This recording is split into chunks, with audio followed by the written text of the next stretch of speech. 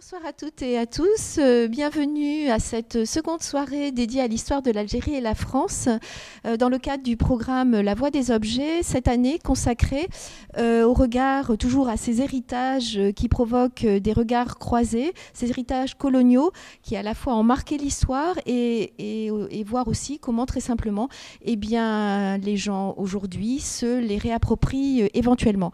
Alors la première soirée avait été dédiée à l'orientalisme, l'Orient des peintres, pour voir comment précisément les images produites au 19e et 20e siècle pouvaient encore orienter euh, nos regards d'aujourd'hui, notamment sur la femme. Euh, aujourd'hui, euh, nous vous proposons de regarder plus attentivement la question de l'architecture et de l'urbanisme par voie de conséquence. Évidemment, euh, une conquête euh, agit euh, sur, sur, les, sur les bâtis, et c'est donc ce qu'on vous propose de regarder tout au long de l'histoire coloniale jusqu'à l'indépendance, et enfin, peut-être voir un peu plus avant, à travers la table ronde qui, qui, sera, qui prendra place tout à l'heure, eh bien comment aujourd'hui on se réapproprie tous ces héritages pour faire des villes d'Algérie, pour les projeter vers le futur. Euh, donc on va refaire un petit retour en arrière pour euh, commencer et donc plus précisément focaliser sur Alger, même si évidemment euh, les destructions et constructions inhérentes à la conquête et à la colonisation de l'Algérie ont pris place non seulement à Alger mais aussi dans les grandes villes telles qu'Oran et Constantine et bien, entendu jusqu'à l'arrière-pays et de manière plus ou moins diverse mais avec quand même des grandes lignes de convergence. Alors pour en revenir à, à Alger, on vous propose dans un premier temps, très simplement pour se rappeler, euh, pour se mettre le sujet en tête, eh une affiche qui avait été réalisée pour le trentenaire euh, de l'indépendance de l'Algérie et qui représente donc Alger vu depuis son, port et sur laquelle on peut très simplement deviner les diverses strates qui composent cette ville, euh, qui, comme toute grande ville, a subi bien des modifications durant son histoire, mais avec cette particularité d'avoir été plusieurs fois colonisée. Et c'est très simplement ce qu'on voit sur cette affiche, à la fois avec des...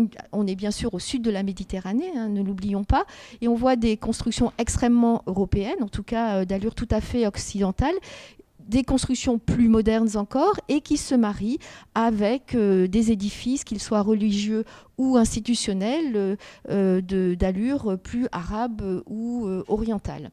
et donc, nous allons revisiter cette histoire à travers notamment un corpus de cartes postales, puisque la carte postale a vraiment connu un grand développement à la fin du 19e et au début du 20e siècle non seulement en France, mais dans ces provinces. Et à l'époque, euh, l'Algérie était une province autonome de la France, pour précisément diffuser la modernité et les multiples visages de la France. Et ça s'est passé pour l'Algérie. Et d'une certaine façon, euh, ces, cartes postales sont aujourd'hui un petit peu les vestiges d'une histoire euh, qui, euh, qui, compte tenu de son poids, a connu aussi bien des vicissitudes et qui aussi a été un petit peu occulté des mémoires. Et on peut constater aujourd'hui, à travers les collections publiques, mais aussi les collections euh, privées qui se constituent, eh bien, un intérêt pour ces cartes postales qui, d'une certaine façon, permettent de renouer avec un passé ambivalent, puisqu'on a bien du mal à savoir comment l'appréhender. Alors, la, conquête de l'Algérie commence dans 1830, précisément à Alger, dans ce qui est alors euh, la régence d'Alger, euh, et euh, prend place dans, une, dans, une, ville qui est déjà imposante. Hein. La cité d'Alger était connue au XVIIe siècle comme un comme étant une des plus grandes euh, de l'Afrique, puisqu'elle euh, regroupait environ 100 000 euh, habitants, ce qui, est, considérable, et donc est constituée avec ses apparences arabes et aussi ottomanes, à travers notamment les palais du Dé et du Bé et les palais institutionnels. Et la conquête est extrêmement violente et va faire très vite, non pas table rase, mais faire fi de nombreux bâtiments, puisque très tôt, de 1830 à 1835, c'est un peu l'époque des grandes destructions. Euh, destruction non seulement symbolique, puisqu'il s'agit de s'attaquer au pouvoir euh, déchu, au pouvoir euh, parti, celui du, du, régent d'Alger, mais aussi, donc ottoman, mais aussi, et puis, et puis d'une manière générale, pour montrer que le pouvoir nouveau est le pouvoir français, mais aussi destruction nécessitée par la conquête, très simplement. L'armée est extrêmement nombreuse, il faut la loger, il faut la soigner. Et il faut très simplement aussi euh, l'associer à une conquête de peuplement euh, pour euh, vraiment appuyer, instaurer ce nouveau régime en Algérie, puisque très tôt, en fait, la conquête a été associée à cette idée de colonie de peuplement, c'est-à-dire que l'armée, la, comment dire, le gouvernement militaire aurait un, aurait un, temps et surtout préparait une colonie comme comme des colonies dont on pouvait penser qu'elles n'étaient plus, qu'elles avaient achevé leur temps. donc, pour autant, euh, deux points de vue se, distinguent très tôt aussi et vont être des points de vue qui vont s'affronter tout au long de cette longue euh, et difficile histoire. Le premier point de vue est un point de vue extrêmement négatif, euh, qui est de considérer ces habitats qu'ils découvrent, qu'une fois qu'on a éventré les, plus beaux palais, on considère que la ville est, vieille et médiévale, qu'elle n'est pas du tout adaptée à, un usage moderne et que donc, bref, il vaut mieux la démolir.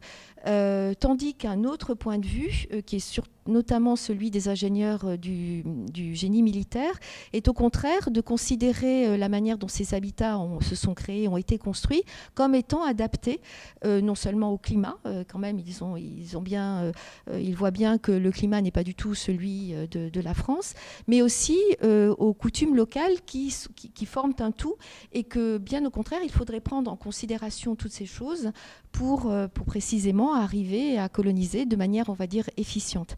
Et donc, euh, euh, tandis que les destructions continuent et vont continuer à créer des rues qui éventrent le vieil Alger et qui progressivement vont le faire disparaître, il y a destruction des remparts, etc. etc.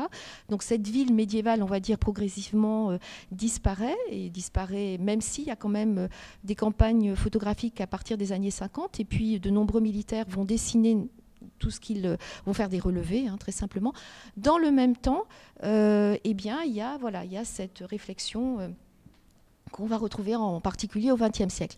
Néanmoins, euh, dans les années 1860, on considère que la pacification est achevée et que donc place est faite pour, euh, pour la colonisation. Et c'est un peu le moment des grands travaux haussmanniens, tout comme, à, tout comme à Paris et tout comme dans la France et les grandes villes françaises, puisque à partir de ce moment-là, il est, il, est, il, est, décidé de faire des grandes villes de l'Algérie et bien des grandes villes de France, ou en tout cas euh, d'une France associée. Et donc c'est la raison pour laquelle, notamment, on crée le grand boulevard de l'Impérial dans le bas euh, de, la, de la ville d'Alger et on transforme et on modernise totalement euh, le, port qui emporte encore la Darse d'Alger, que l'on découvre encore aujourd'hui, euh, comment dire, la, la, la, physionomie finalement de ce nouveau port qui a complètement changé de positionnement face à la mer, eh bien, date de cette période. Et donc les grands axes aussi qui, qui, traversent Alger sont, sont créés. Et, d'ailleurs, alors je, fais une petite incise, mais je voulais quand même citer un, pour, pour pour montrer un petit peu les, ambivalences des, euh, des, Français, très simplement en, voyant cette ville d'Alger. Euh, un artiste, et non des moindres, Eugène Delacroix, rétrospectivement euh, faisait part de son émoi quant aux destructions de la ville d'Alger, qui ne prenait en, pas du tout en considération précisément les habitats locaux et transformait en petits pareils, alors que le climat n'était pas du tout approprié, la ville d'Alger. Ça, il le, il le dit en fait dans un article en 1843, qui est un article un petit peu visionnaire, puisqu'effectivement, euh, à partir des années 60, et puis ça ne va cesser, eh bien, euh, tout le bas d'Alger prend une physionomie tout à fait européenne qui s'apparente fort à, à, très simplement la ville de Nice, ou pourquoi pas la ville de, Marseille. Je dis Nice parce qu'il y a vraiment ces, ces volets euh, caractéristiques des ouvertures des, des, des, villes, pardon, des, immeubles italiens ou niçois. Et c'est ce qu'on va retrouver à Alger, et c'est ce qu'on retrouve encore d'ailleurs aujourd'hui sur les grands axes des boulevards d'Alger.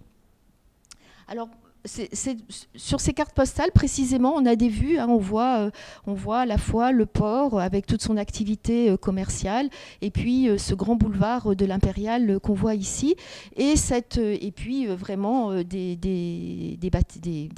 immeubles qui s'apparentent totalement aux, villes, méditerranéennes ou aux villes, ou très simplement Paris, en tout cas aux villes françaises. Euh, alors, euh, tandis que euh, à la fin du 19e, début 20e, la colonie a bien pris place en Algérie et que d'ailleurs l'Algérie a des tentations d'autonomie, se développe en parallèle tout un courant qu'on a appelé arabophile ou indigénophile, qui, qui, croit d'une certaine façon en une possible convergence de ce qu'on appelle alors les races et en imaginant que cette convergence pourrait être signifiée ou se retrouver euh, dans l'architecture et l'urbanisme précisément.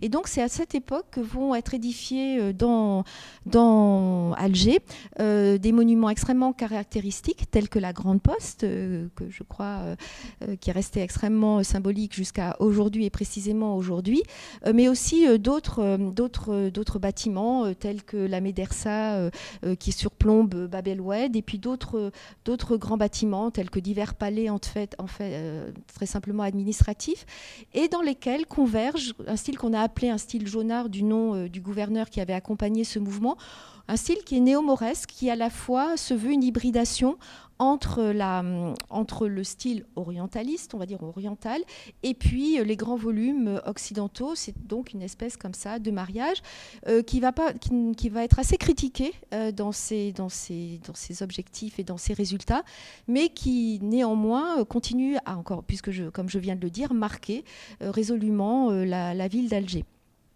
Et puis, dans les années 30, au moment de la célébration du centenaire de l'Algérie, euh, vont à nouveau être mis en place de, grands programmes, à la fois d'édification de grands monuments, et ça me permettra ensuite de faire le lien avec le grand pavois que l'on distingue peut-être derrière, mais aussi de grands programmes de modernisation d'Alger.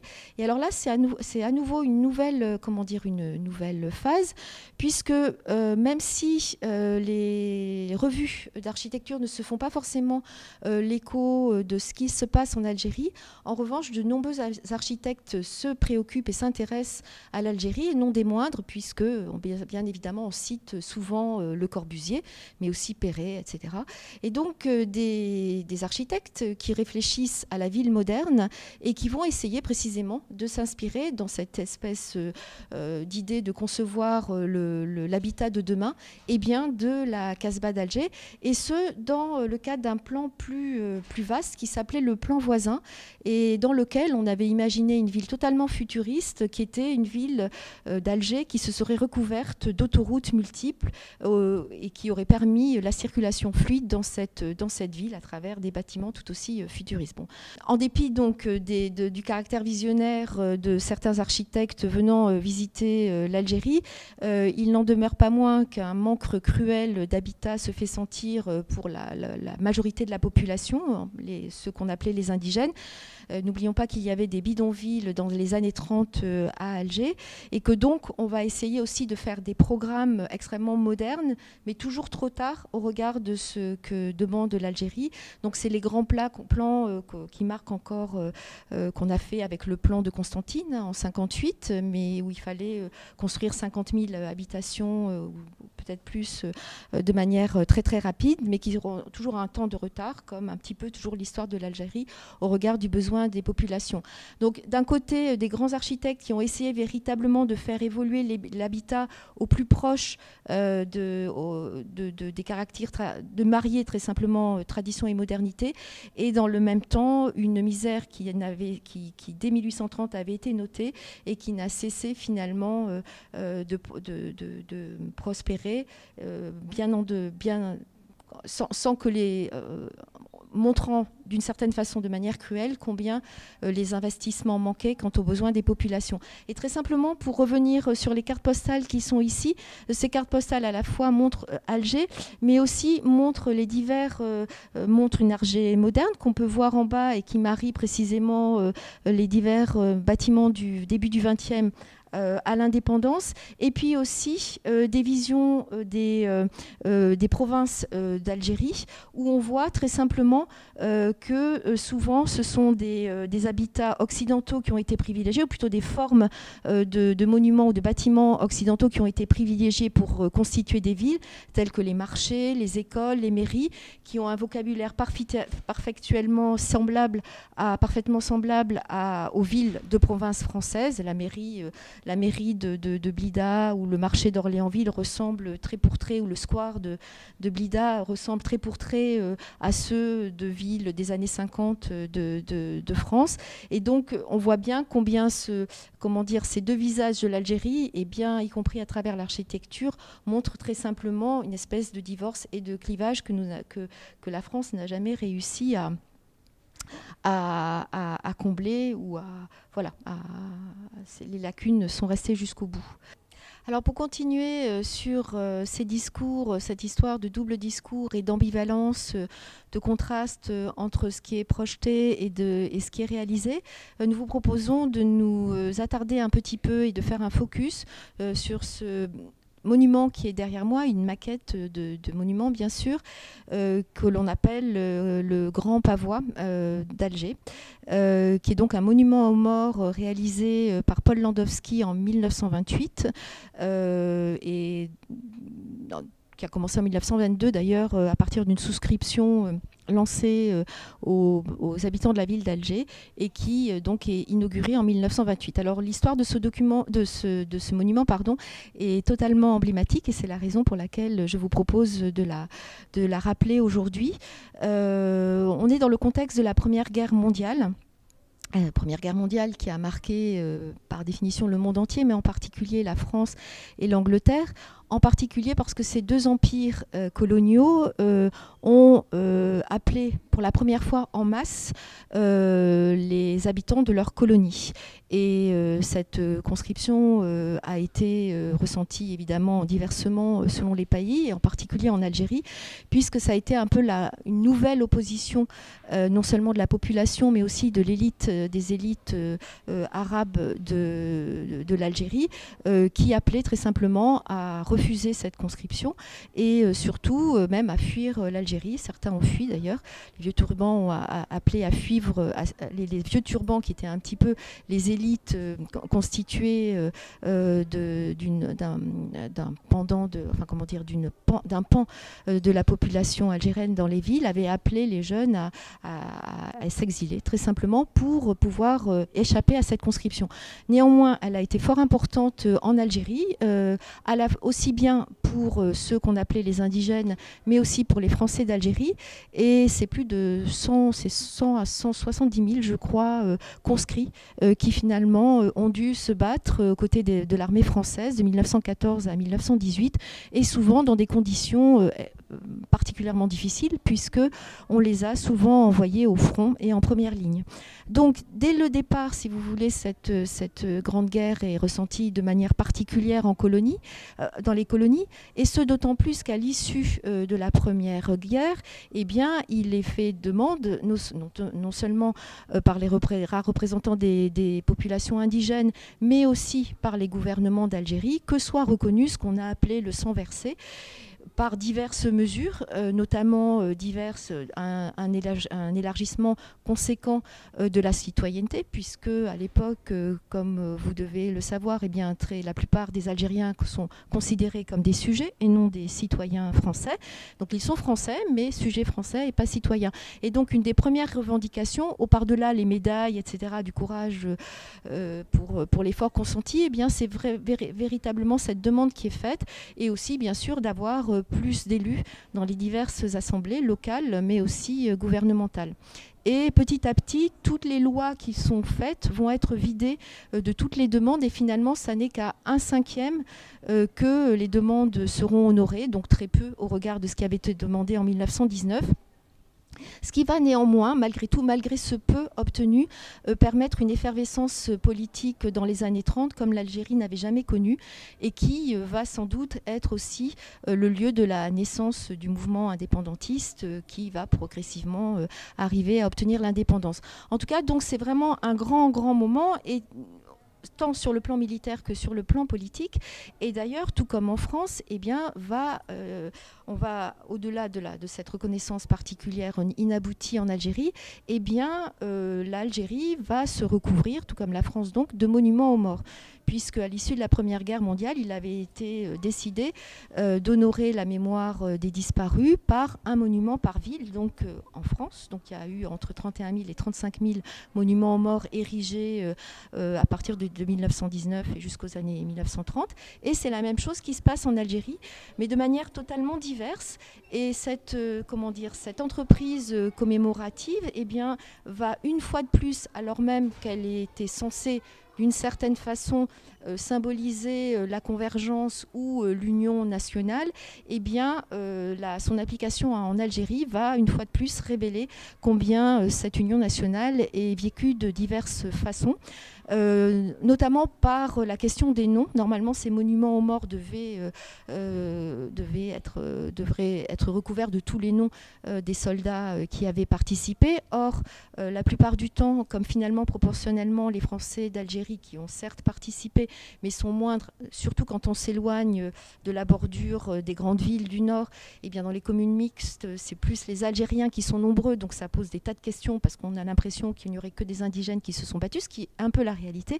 Et donc, mais finalement, après bien des questions, souvent finalement, euh, il va y avoir soit des listes séparées de noms, soit au contraire, euh, carrément pas de nom du tout, ou bien il est question d'honorer à nouveau les combattants par des rues. Et alors là, c'est une question qui, euh, qui en Algérie euh, n'aboutit pas, puisque ça voudrait dire que l'on nomme de, de noms euh, d'indigènes, encore une fois, entre guillemets, des rues. Et ça, ça n'est tout simplement pas envisageable. Bref, petit à petit, cette entreprise commémorielle ou commémorative est pervertie ou altérée par très simplement les lois de la colonie qui sont en contradiction avec ce désir d'union nationale. Et à Alger, puis toutes, donc les grandes villes vont aussi euh, avoir droit à leur, à leur monument. Et Alger, donc c'est cette conscription euh, qui permet euh, de, réunir l'argent pour élever un grand monument digne de ce nom. Et c'est un certain Paul Landowski qui, est sculpteur donc et qui va, remporter le concours avec deux autres sculpteurs qui travaillent avec lui, dont, dont Bigonnet, je ne me rappelle plus du nom de l'autre, et puis aussi deux architectes qui vont s'employer à faire la structure euh, du monument. Alors ce monument euh, s'élève euh, dans le centre d'Alger, en haut d'un boulevard bien connu, alors évidemment, là, c'est une maquette extrêmement réduite puisque euh, le monument final fait 14 mètres de haut sur 7 mètres de large. Donc ça vous dit un petit peu, ça vous permet de quand même vous représenter la hauteur du monument. C'est à peu près euh, près de 5, un immeuble de, de 5 étages, donc ça n'est pas rien.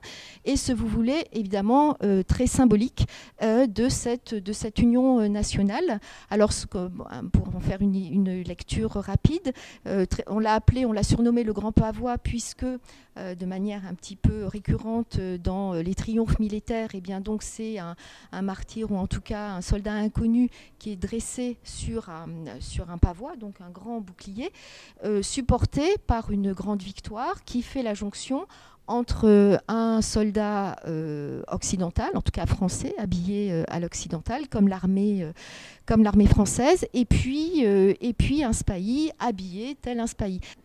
Et puis à l'arrière de ce, à l'arrière de ce monument, euh, alors là ce que vous verrez en fait c'est deux soldats, mais c'est une, c'est un moulage d'une maquette qui n'était pas la définitive, puisque dans le, monument définitif figurent euh, deux, deux, jeunes femmes qui supportent deux, deux hommes très âgés et qui là aussi symbolisent la réunion non pas militaire mais civile euh, de l'Algérie. il y avait quand même 10 000 noms sur, sur ce, sur ce monument, mais euh, dans l'étage inférieur, dans le, simplement sur le socle. Alger étant une ville un peu particulière, puisque finalement c'est une ville très européenne, et donc la question des noms était peut-être était même sans doute moins sensible que dans les communes mixtes. Et enfin, il y avait toute une frise qui montrait euh, simplement les soldats euh, dans, des, dans des situations militaires. Et donc, ce monument est inauguré en 1928. Euh, et va euh, demeurer euh, jusqu'à l'indépendance et après. Sans connaître le sort d'autres monuments qui ont été détruits, comme les, grands, les, monuments immenses qui célébraient par exemple le centenaire de la de l'Algérie en, en, 1930 et démolis, et bien d'autres monuments, y compris aux morts, sont démolis dans d'autres villes. Celui-ci, et puis il y a aussi des statues qui ont été déplacées, comme notamment la statue du duc d'Orléans qui était à côté de la mosquée de la pêcherie qui revient en France. Il y a des photos assez remarquables de toutes ces statues qui prennent le bateau en 1962 pour être à nouveau euh, éparpillées, distribuées dans les villes françaises. Ce monument, il faut dire qu'il est assez monumental pour le coup, demeure en place jusqu'en 1978 où là, euh, Alger accueillant euh, les troisièmes Jeux africains, eh bien, il est décidé par les autorités qu'il est absolument inconcevable que ce monument qui semble désormais à la gloire de la colonie, du, voilà, du fait colonial, demeure en place. Et ce, notamment parce que dans l'interprétation des Algérois d'alors, eh bien, un des, c'est ce que nous disait une de nos invités de la semaine dernière, l'Algérien se trouve en dessous pourquoi n'est-il pas au-dessus? Il se trouve en train de, supporter. Donc, en tout cas, c'était lu comme ça, c'était interprété comme ça. Et puis, par ailleurs, euh, finalement, le SPAI n'a pas été euh, l'élite, ou en tout cas, pardon, la, euh, plutôt l'unité qui a été la plus combattante sur le front. Ça a plutôt été l'infanterie. Et donc, bref, tout ce monument semblait de peu de poids au regard d'une symbolique célébrant l'effort consenti par les soldats algériens pendant, pendant les guerres mondiales. Et il est proposé très simplement de les détruire. Et en fait, on va confier euh, cette mission à un, artiste euh, célèbre aujourd'hui qui s'appelle Marmet Issiarem et euh, ce dernier va analyser la situation pour surtout ne pas porter atteinte à un monument qui a quand même été réalisé par un artiste dans des circonstances particulières et qui, comme tout monument réalisé par un artiste, en tout cas comme toute œuvre d'artiste, on, lui doit le respect.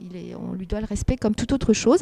Et il va donc avoir cette idée assez géniale de le, protéger et de le couler dans une immense chape de béton euh, avec cette idée que peut-être un jour, en tout cas, ça n'altérait pas l'histoire, on n'effaçait pas l'histoire, et on, conserver d'une certaine façon l'intégrité du monument.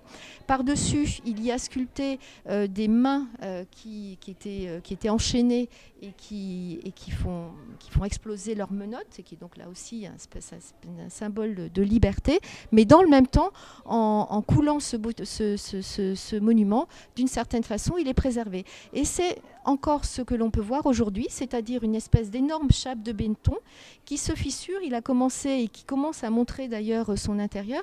Il y a eu une entreprise de restauration, je crois, en 2016 et qui montre véritablement euh, si besoin était, euh, d'une manière extrêmement symbolique, euh, cette histoire, ses difficultés, la difficulté de sa narration jusqu'à aujourd'hui et l'ambivalence avec lesquelles sont traités très simplement son, héritage. C'est aussi une manière peut-être de faire le lien maintenant avec la table ronde qui va avoir lieu très vite juste derrière vous, euh, puisqu'il s'agit précisément euh, à nouveau de relater donc toute cette histoire extrêmement riche et complexe des diverses tentative, voire réalisation d'urbanisation et de construction architecturale euh, d'Alger. Ce qu'il en reste, comment ça a marqué cette ville, et bien entendu par derrière toutes les autres villes et toute l'Algérie tout entière, et voir aujourd'hui comment des urbanistes euh, s'interrogent euh, comment sur ce patrimoine pour soit le préserver, soit le faire évoluer et arriver à ce qu'on a appelé Algérie 2030, pardon, Alger 2035, qui est un des grands plans du futur d'Alger et c'est le titre qu'on a voulu donner à cette séance. Donc je vous invite maintenant à rejoindre nos invités autour de la table ronde. Merci. Bonsoir à toutes et à tous.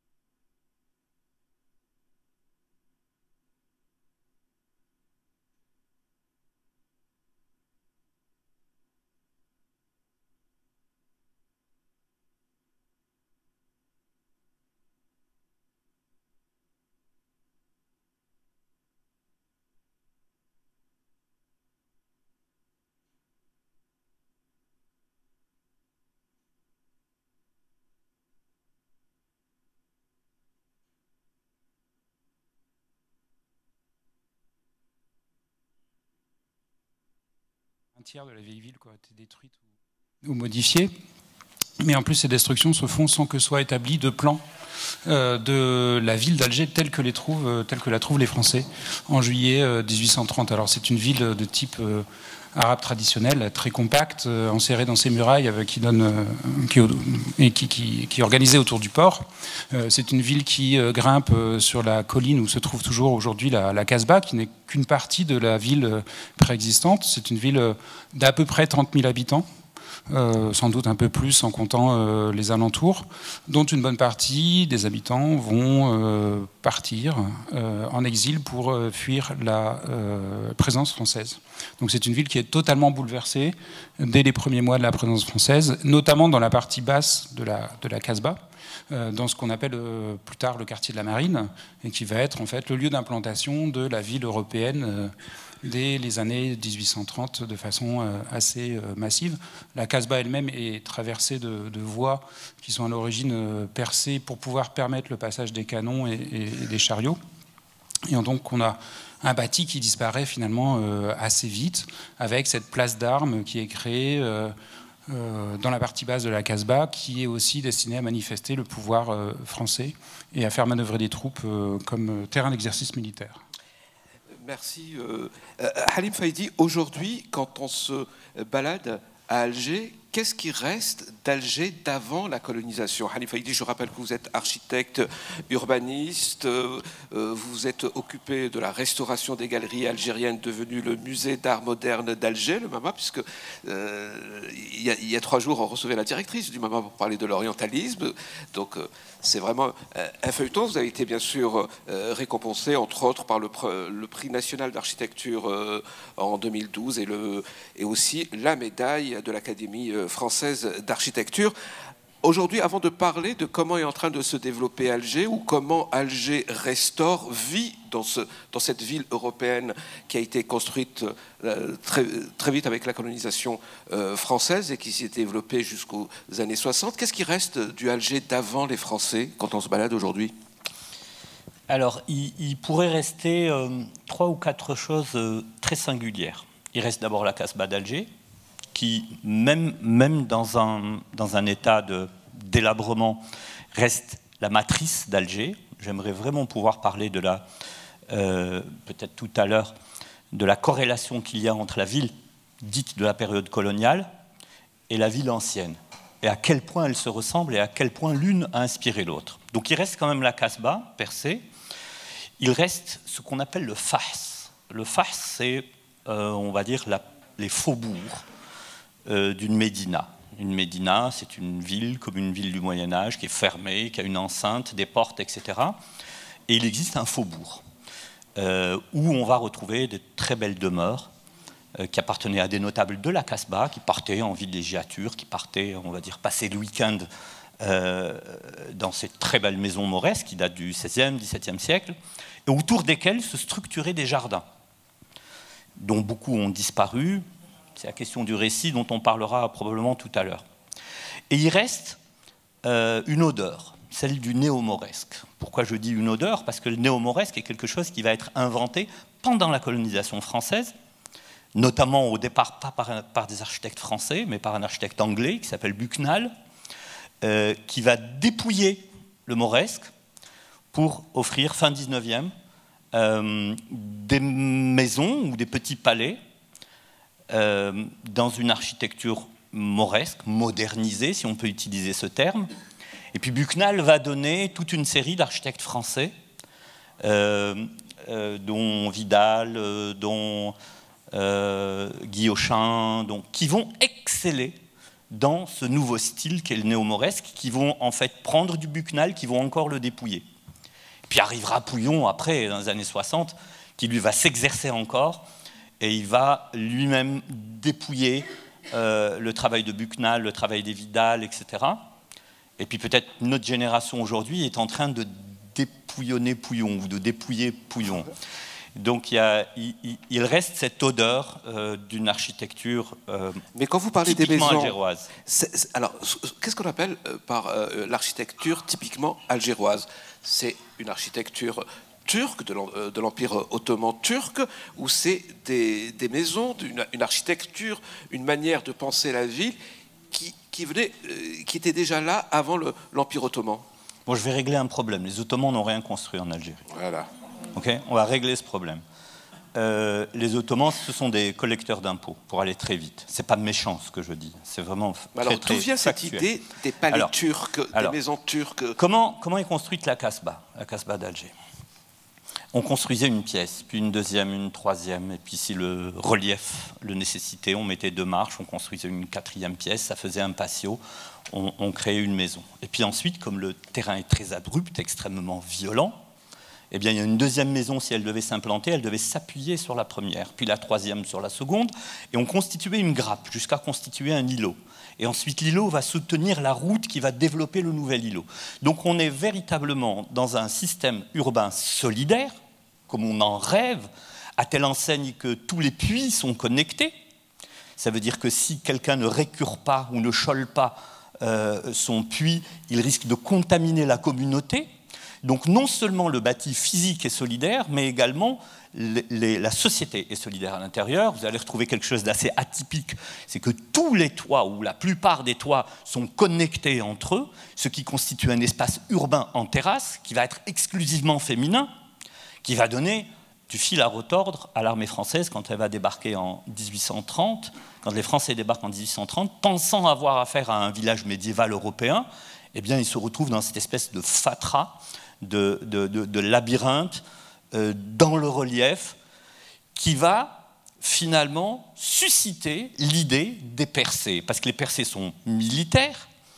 On a une espèce de grande masse dans laquelle on a 50 ou 60 000 personnes qui vivent euh, et on ne sait pas rentrer à l'intérieur. Vous avez un sniper à chaque terrasse et on va percer pour conscrire des territoires qui sont faciles à sécuriser, Hein, euh, vraiment, on sait créer des souricières à partir du moment où on perce. Les percées sont militaires.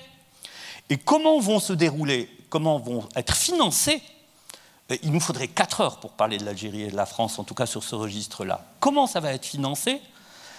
Parce que la France, quand elle débarque en 1830, on, est en crise politique, on est en crise économique, donc il n'y a pas d'argent, il n'y a pas de levier.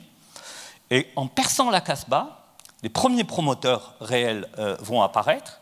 Ils viennent de la communauté israélite, parce que dans la, dans la religion juive, on a le droit de pratiquer l'usure, ce qu'on ne peut pas faire euh, dans la tradition euh, musulmane. Donc ils vont être les premiers leviers financiers pour constituer les percées. Je vais prendre une minute pour rajouter une petite information, parce que c'est très compact tout ça. Euh, quand on va percer la Casbah d'Alger en secteurs, qui sont des secteurs sécuritaires, on va casser l'ancien, et puis on va construire des bâtiments de type européen, 19e siècle. Et puis ces percées euh, vont inspirer Napoléon III, qui va euh, revenir de Londres, où il va passer deux ans, Londres brûlée, reconstruite. Et puis, il avoir ces très belles avenues, ce nouvel urbanisme très hygiénique. Et il va faire appel au préfet de Seine.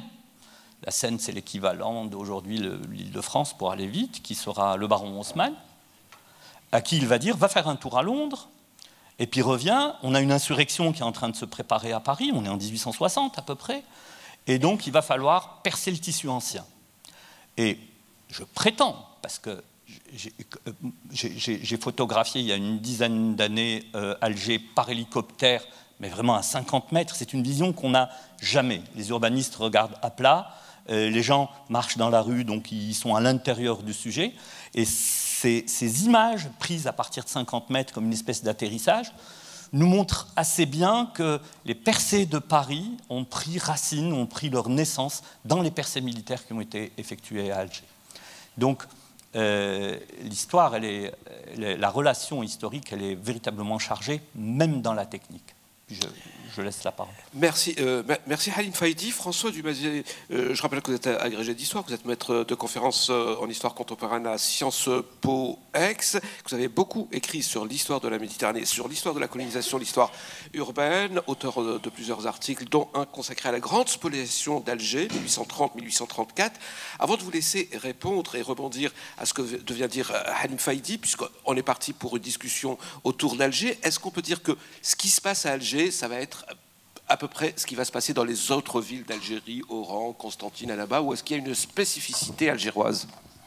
Euh, alors, il y, a un modèle algérien qui, s'instaure et euh, ce qu'on voit à Alger va être euh, fait en pire dans d'autres villes. je pense à, Blida ou d'autres villes, etc., qui vont être pratiquement rasées.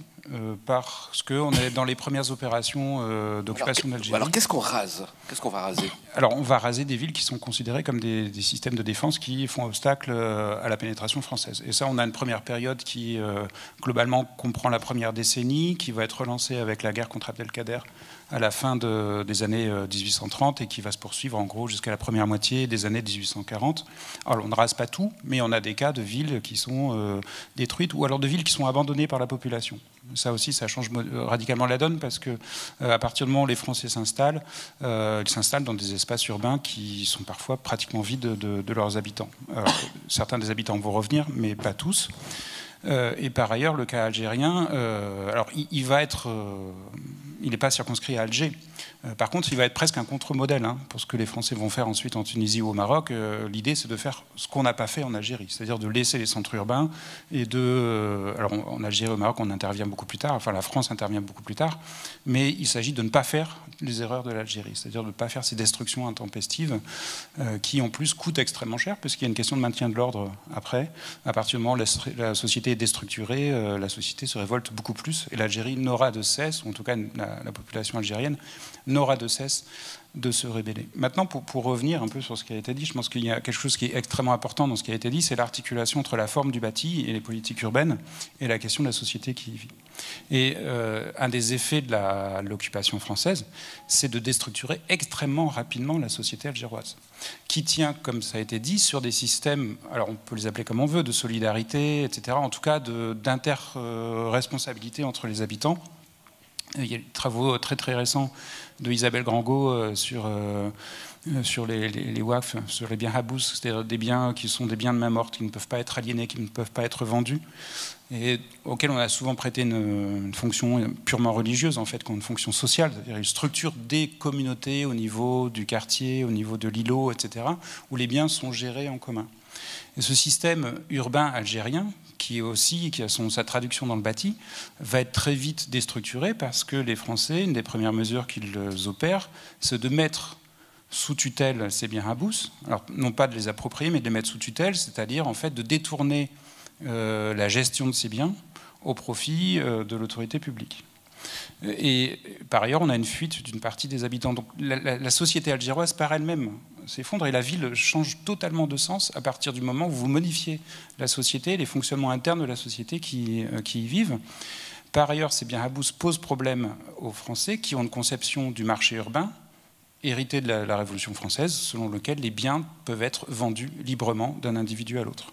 Et la ville algérienne, en tout cas Alger, mais la ville algérienne de façon générale, n'est pas une ville dont les biens peuvent se transmettre. Parce que ces biens sont en partie justement des biens habous ou des biens waqf, donc des biens inaliénables qui servent à structurer euh, les euh, communautés au niveau de l'îlot, au niveau du quartier, euh, etc. Donc l'idée de faire la ville, à l'origine, on n'a pas tellement une vision urbaine sur la ville. On trouve pas, on trouve très rarement dans les écrits des officiers français à Alger une vision de la beauté ou non de la ville arabe.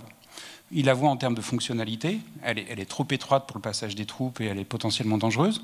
Mais très vite s'impose une vision économique. Cette ville est un obstacle à la présence française parce que c'est une ville qui ne peut pas être, où les bâtiments ne peuvent pas être euh, vendus, etc. Et donc ne permettent pas l'implantation d'une population française. Ce qui va permettre l'implantation massive d'une population européenne euh, relativement rapidement, c'est en fait des phénomènes d'accaparement, c'est-à-dire des maisons qui sont réappropriées de façon plus ou moins arbitraire, à tel point que lorsque la France pense à indemniser les propriétaires originels en 1844, elle a énormément de mal à faire la liste de ces propriétés, dont les propriétaires ont disparu, dont les traces ont souvent disparu aussi. Euh, donc on a un phénomène massif d'accaparement avec des luttes qui s'opèrent entre l'armée, d'une part, qui a sa propre logique, et puis des spéculateurs fonciers qui viennent euh, très rapidement de, du nord de la Méditerranée, de France en particulier, qui espèrent faire d'Alger un lieu euh, où ils peuvent faire fortune à, moindre coût. Alors, comment va se, créer, se construire cet Alger euh, qu'aujourd'hui les Algérois appellent la, ville, la ville européenne, c'est-à-dire un peu le centre euh, d'Alger. C'est quoi l'histoire? Parce qu'il va y avoir plusieurs périodes, plusieurs architectes, plusieurs visions d'ailleurs d'une architecture typiquement algéroise. Peut-être avec vous, Halim Faidi? Alors, déjà sur le plan urbain, on, on part d'abord d'une casbah qu'on va percer et puis quelques spoliations de, des, maisons, des maisons et des palais mauresques et, néo-mauresques du Fars. Euh, ensuite, très rapidement, on va commencer à construire à l'extérieur de la Casbah. Et le premier bâtiment que va construire la France, c'est un bâtiment civil, culturel, qui est l'Opéra d'Alger, aujourd'hui théâtre national, qui va se trouver à une des portes euh, de la Casbah, donc à Babazoun. Et ça va être le premier partenariat plus public-privé que je connais, moi, en tout cas moderne, contemporain. Ça me fait rire quand j'entends aujourd'hui Ah, on a inventé les PPP, etc. Ça existe depuis 1840. Et donc, on va prendre quatre ou cinq promoteurs qui, très souvent, tout au début, ne venaient pas de France. Ils pouvaient être valenciens, corses, maltais, sardes. Euh, beaucoup d'Alsaciens sont venus prendre les montagnes. En fait, les gens venaient en fonction du territoire d'où ils venaient et du savoir-faire qu'ils avaient. Ils apportaient ce savoir-faire et ils le reproduisaient un environnement. Hein. Mais là, il s'agissait de reproduire l'Opéra Garnier de Paris. Complètement. Alors, on va partir d'un petit Opéra Garnier, on va construire en zinc, on va avoir des toits en zinc, un peu arrondis, comme ça, beaucoup de mots des natures, très classique comme bâtiment. Et euh, ça va être un partenariat public-privé parce qu'on va dire à des promoteurs, on vous prépare des assiettes de terrain pour promouvoir, on vous donne l'assiette foncière, donc le terrain, pour un franc symbolique, mais en échange, vous allez financer un opéra. Et puis ça, ça va partir pendant pratiquement 60 ou 70 ans, ce mode de fabrication de la ville, à Sidi Bel à Oran, à Constantine, etc., où euh, euh, on va donner du terrain pour que des gens euh, fassent leur immeuble de rapport, qu'ils vendent ou qu'ils louent, hein, c'est un immeuble de rapport, et en échange, ils vont financer un bout du trolleybus, un bout des réseaux, des infrastructures, etc., etc. Et donc, il va naître une nouvelle manière de faire de l'urbanisme à partir de partenariats euh, publics-privés qui ne portaient pas ce nom à l'époque. Alors justement, Mais... parce que c'est très intéressant, François Dumazy lui parle d'un partenariat militaire euh, privé. Alors, moi, je, n'ai pas de regard d'historien, donc je parle vraiment sous contrôle. Hein. J'ai vraiment un regard d'urbaniste et un regard assez séquentiel. Euh, pour moi, les militaires ont éliminé les contraintes et préparer le terrain de jeu de ce qui va être la ville et l'architecture.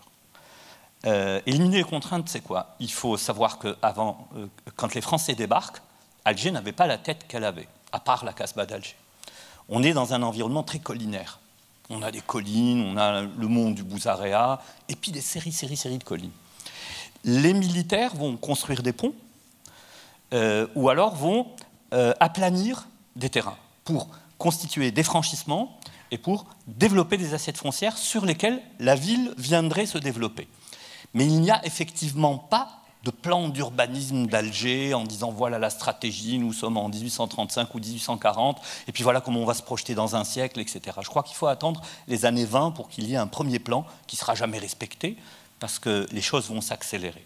Alger va se construire grâce à la révolution industrielle également. Donc ça tombe dans une période très particulière de l'histoire où, euh, après, la, machine à vapeur, donc le charbon plus l'eau qui va donner une nouvelle énergie et qui va créer la première révolution réellement, qui est, le, qui est la, la, machine à vapeur, donc le train, le rail, etc., il va falloir attendre euh, milieu 19e siècle et donc toute la deuxième moitié du 19e siècle, on va voir les ébénisteries, on va voir la sidérurgie arriver, le moteur à explosion.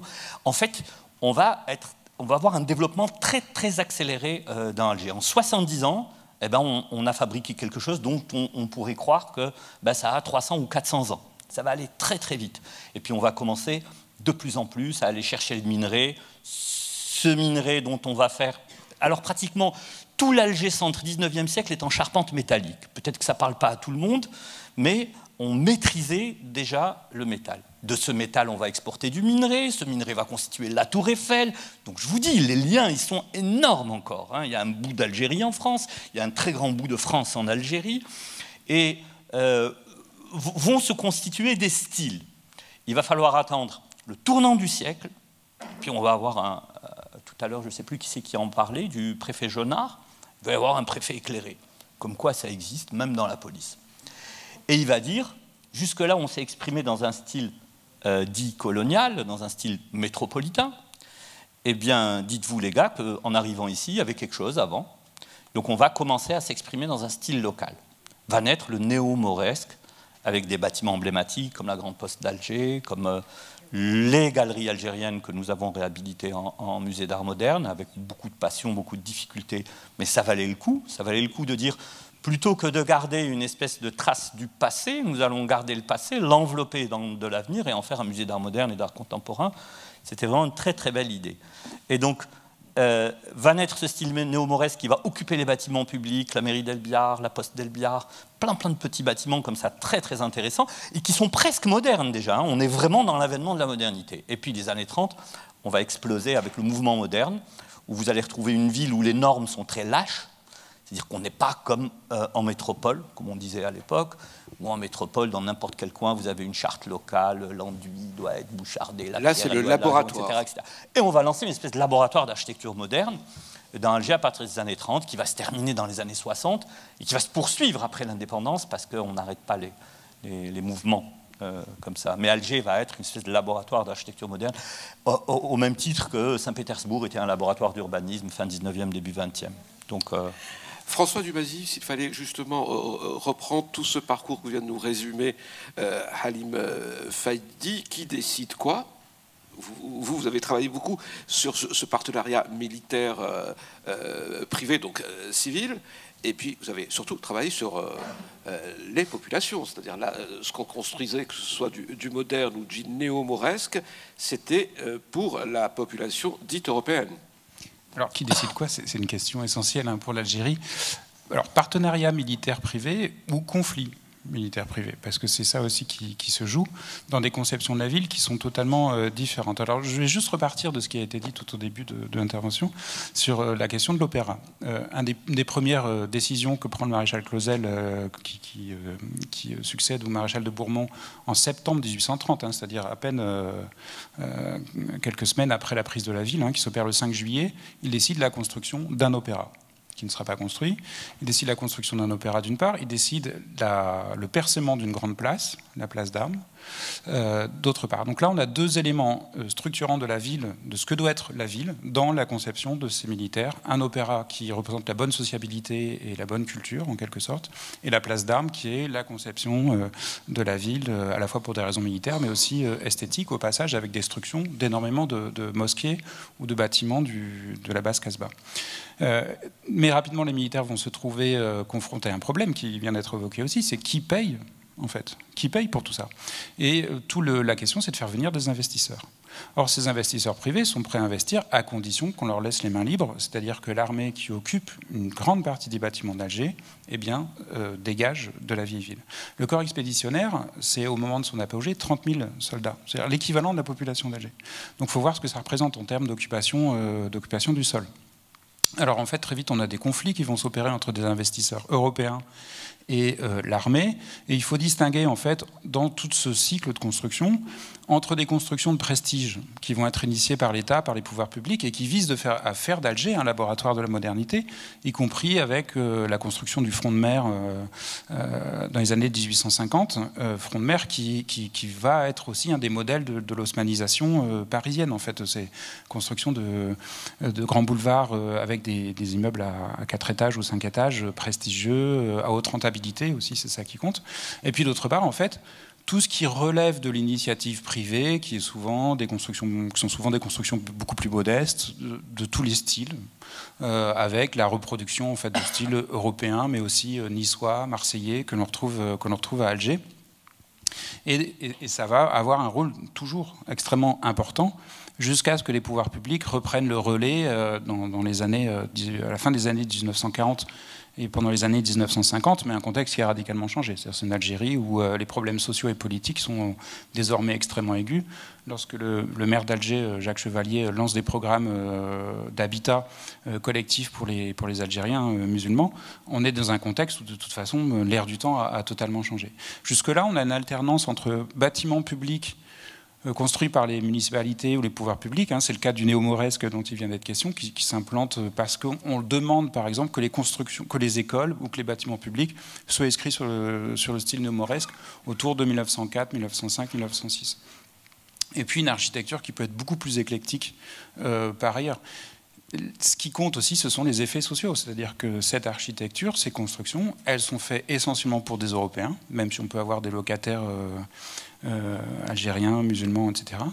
Et elles sont pensées pour des Européens, dans le style européen, avec un renvoi de la population euh, originelle, soit dans des quartiers confinés qui vont être ghettoisés, hein, c'est le cas de la Casbah, euh, soit simplement dans les périphéries urbaines. Ça va être le cas des bidonvilles qui commencent à apparaître dans, dans l'entre-deux-guerres et qui vont se déployer en fait dans les années 1950. En 1962, il y a l'indépendance de l'Algérie. À partir de là, on va voir comment les Algériens vont euh, euh, investir euh, ces quartiers, ces, nouvelles constructions, cette ville européenne.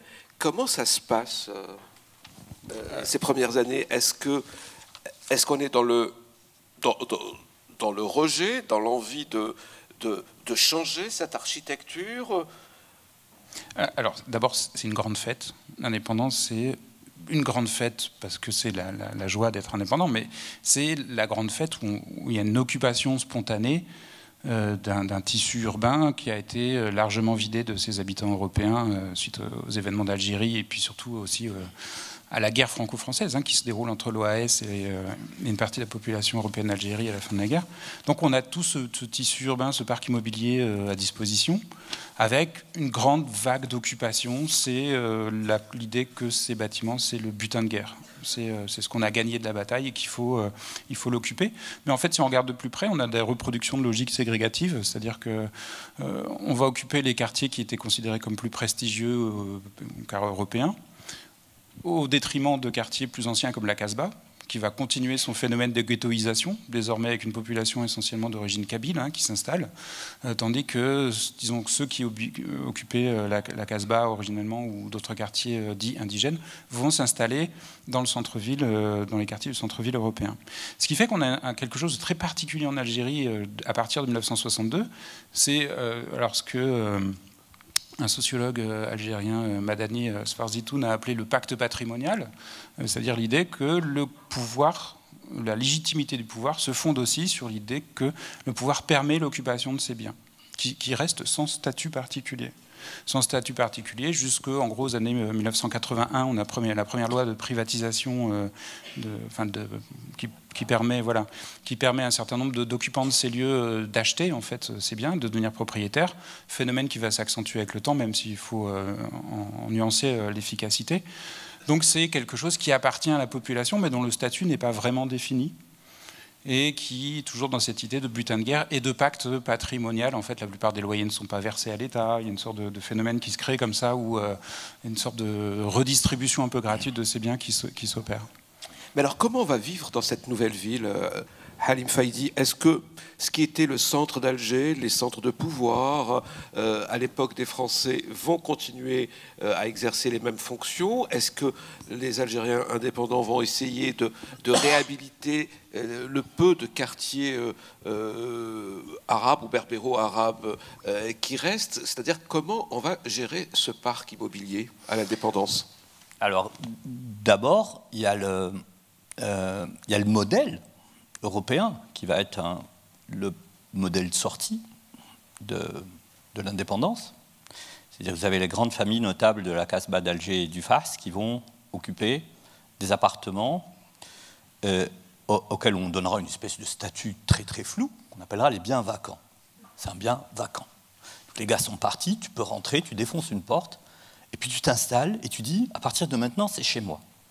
Mais il n'y a pas d'acte de propriété foncière il va falloir attendre que les OPGI, c'est-à-dire l'équivalent de l'OPHLM, euh, euh, euh, recensent ces biens vacants.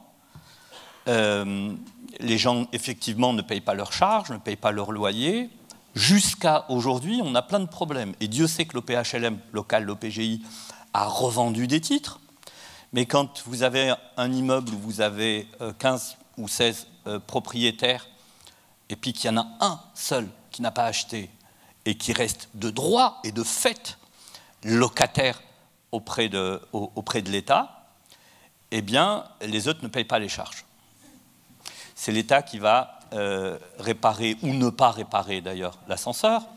Euh, le problème de la minuterie, là, les dernières opérations dites de réhabilitation du tissu 19e siècle, euh, la wilaya, l'équivalent du gouvernorat ou de la préfecture, débarque dans les immeubles pour la réhabilitation, il répare la minuterie, et puis au bout d'un mois, elle est cassée. Tout le monde se demande, mais en fait, il n'y a personne qui, paye les, charges. Donc, cette question des biens vacants, les familles les plus notables vont occuper euh, dans les quartiers euh, les plus huppés, les plus cossus, vont occuper des appartements européens et vont vivre à l'européenne pendant quelques années et probablement même jusqu'à. Quand on dit à l'européenne, ils vont vivre de manière moderne, hein, entre guillemets. Donc le passage va se faire très très vite. Et les gens vont bien s'accommoder du confort euh, qui était réservé aux Français de souche euh, et, et non pas aux indigènes qui étaient des citoyens de seconde catégorie. Mais les gens vont très très rapidement rentrer là-dedans vont un peu adapter les choses. Euh, et puis quand on arrivera dans les années 80 à une densité importante, parce que euh, les grandes villes, notamment les grandes villes du Nord, vont être, il va y avoir un exode rural massif dans les années 60, il y aura un second exode rural à la fin des années 70, et un troisième énorme qui va se passer pendant les années 90, c'est-à-dire pendant les années de, guerre euh, contre le terrorisme et, l'obscurantisme, que nous avons gagné cette guerre. Je ne sais pas si on a gagné contre l'intégrisme, mais contre le terrorisme, je crois que maintenant on est passé euh, vraiment champion. Et il va y avoir un énorme exode sécuritaire qui n'est pas un exode économique, qui va faire que les gens qui vivent dans les petites villes de province, autour des grandes villes, des grandes villes capitales régionales, euh, pour des questions de sécurité, les gens vont migrer. Alger va passer en deux ans, par exemple, de 2 millions à 4 millions et demi d'habitants pendant les années 90. Et donc, très rapidement, on va euh, aller voir des gens de la famille, et puis euh, les appartements vont être surdenses, on va construire sur les toits, on va flinguer les étanchéités, on va... donc il va y avoir des phénomènes de dégradation qui vont être opérés à chaque exode. Euh, et de construction, on va continuer à, construire. On va continuer à construire. Dans les années 60, les années 60-70, on va continuer dans la lancée de, la modernité. Et je, suis même tenté de dire du mouvement moderne, parce qu'on a été un véritable laboratoire pour ce qui est du mouvement moderne et des principes et des préceptes du mouvement moderne. Et ça va continuer pratiquement jusqu'à la fin des années 70. Et puis ensuite, il va y avoir on va dire, une mutation politique. On va passer d'un environnement socialiste, social, solidaire, etc. Je ne fais pas de jugement de valeur du tout, mais euh, ben, c'était bien, pas grand-chose, mais on s'en contentait, et puis il y avait à peu près la même chose pour tout le monde. C'était bien, c'était pas bien, je ne sais pas quoi. En tout cas, les années 80 ont été une année de libéralisation, un peu, c'est capital sauvage, qui a fait que les spéculations faisant euh, euh, voilà, les, spéculateurs arrivant sur le marché, on a vu de la quantité se mettre en place de manière assez désordonnée, sans régulation, qui a fait qu'on a créé des périphéries et des bourgs. Euh, voilà, moi j'appelle ça des populations de urbains. C'est vraiment, on a amené l'esprit rural euh, pour fabriquer de la ville, et ça fonctionne pas très bien ça fonctionne pas de la même manière. Avec quel architecte on a fait tout ça euh, Alors, il y a eu Roland Simounet qui est resté, qui est un très très grand architecte. Donc il y a des architectes qui travaillent à l'époque coloniale qui vont rester. Qui vont rester. Il y a Fernand Pouillon qui va faire beaucoup beaucoup de choses. Mhm. Il, va, il va construire des ensembles d'habitations.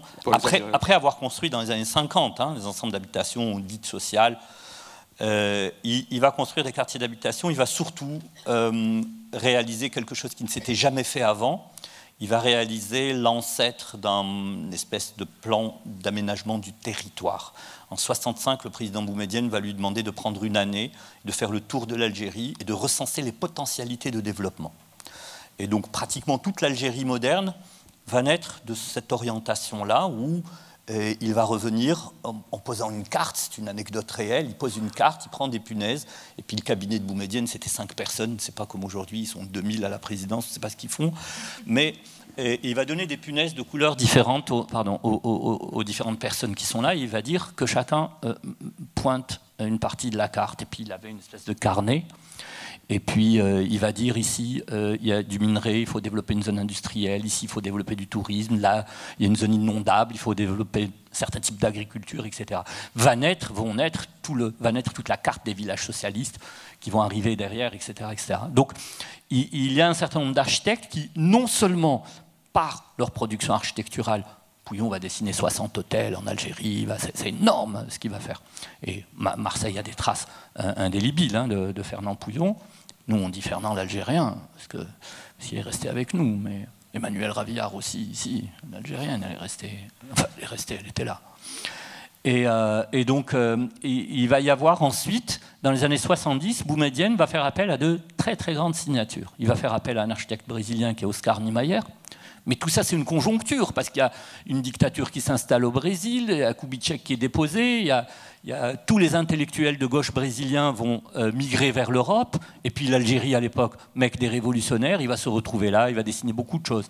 On va avoir un architecte japonais de très grand talent qui s'appelle Kenzo Tange, qui va travailler sur les hôpitaux, des universités, etc. etc. Et donc, c'est pour ça que je dis, cette euh, quête de la modernité d'une Algérie indépendante et moderne, elle va se poursuivre jusqu'à la fin des années 70 et ensuite, on va dire que la spéculation, le libéralisme, va, euh, dans les années 80, va entamer une espèce de revirement où l'État va prendre le contrôle sur euh, le développement immobilier.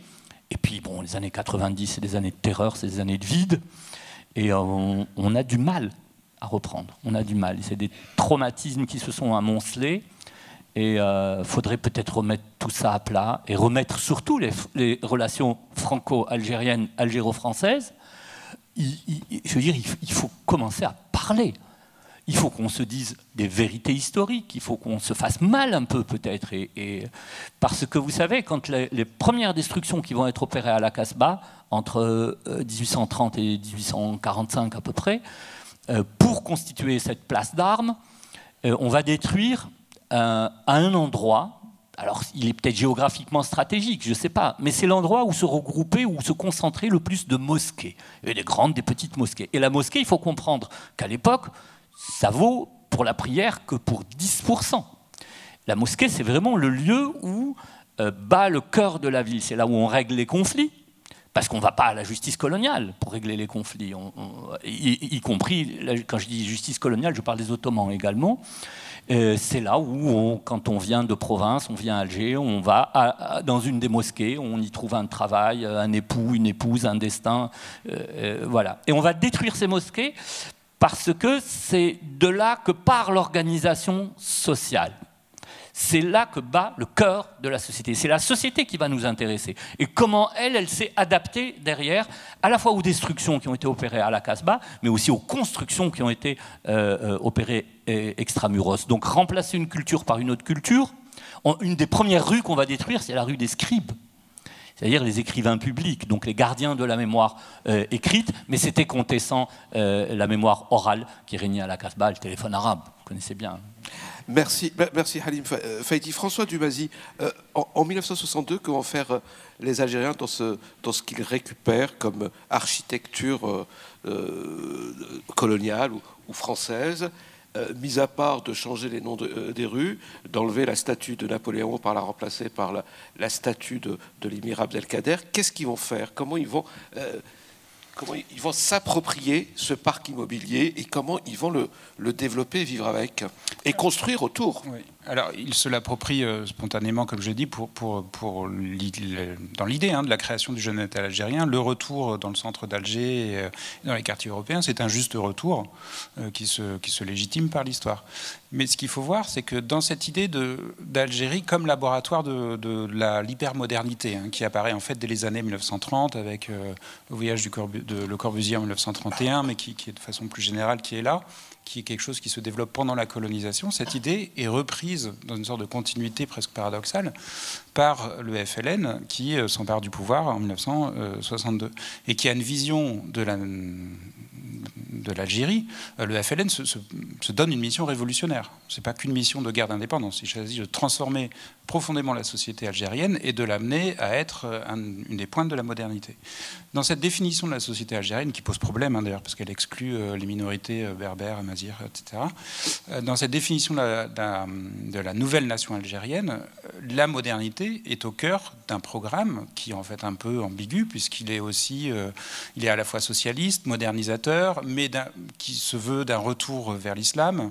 Donc il y a des éléments à la fois du passé et euh, de modernité, avec cette sorte de période française qui finalement est une période en creux, où on, estime que la période française a apporté euh, essentiellement du malheur. Et donc il s'agit à la fois de revenir à l'Algérie de toujours, avec un, roman national hein, qui, postule l'existence d'une nation algérienne euh, préexistant euh, depuis longtemps euh, à la colonisation, et puis surtout d'ancrer l'Algérie dans une modernité qui permet à l'Algérie en quelque sorte de sortir du face-à-face avec la France, pour la connecter, on a parlé d'Oscar Niemeyer, pour la connecter avec le Brésil, pour la connecter avec euh, d'autres territoires, et en fait faire de l'Algérie un peu ce, nœud, ce carrefour. Euh, on, a, appelé Alger la Mecque des révolutionnaires, euh, faire de l'Algérie une sorte de carrefour de la modernité avec d'autres peuples, d'autres pays, et sortir voilà, du face-à-face colonial. Alors ça a généré en fait une architecture qui, tout en se prétendant révolutionnaire, c'est largement inscrite. Alors, quand je parle d'architecture ici, je, dépasse le cadre purement du bâtiment et je parle aussi d'urbanisme. Et qui a prolongé d'une certaine façon le plan de Constantine de 1958, hein, donc plan qui est élaboré à la toute fin de la présidence française et qui vise à répondre euh, économiquement et socialement en fait à la demande indépendantiste en essayant de fournir du logement en masse, euh, des emplois en masse et de l'éducation euh, massive pour les Algériens, qui bien sûr arrivera trop tard qui en plus repose en grande partie sur euh, l'initiative privée. Autant dire que investir en Algérie en 1958, c'était quand même un pari euh, que peu de personnes ont, pris. Euh, mais en fait, cet urbanisme algérien va poursuivre pendant longtemps. Le plan de Constantine va s'inscrire dans ce sillage et va s'inscrire dans en fait ces réalisations qui apparaissent autour des années, à toute fin des années 40 et surtout dans les années 1950, qui vont marquer le paysage algérien. Alors, ce sont des constructions d'habitat collectif avec, on a, on a cité Pouillon, on peut citer aussi euh, des architectes comme euh, Louis Miquel, euh, qui co-construit l'aérohabitat, qui cette expérience très curieuse dans la lignée de, Le Corbusier à Alger, bâtiment qui, pendant quelques années, d'ailleurs, va être le plus haut bâtiment d'habitation au monde, hein, qui va garder ce record quelques années. Donc, une architecture totalement avant-gardiste qui doit incarner cette nouvelle nation algérienne moderne socialiste et euh, novatrice en quelque sorte, qui se dépouille de son héritage, qui se débarrasse de son encombrant héritage colonial, mais qui en fait s'inscrit dans quelque chose qui, est déjà là. Pensez au, plan but euh, de Le Corbusier, euh, qui d'ailleurs personnellement je trouve heureusement n'a pas été appliqué parce que ça aurait été un délire urbanistique total.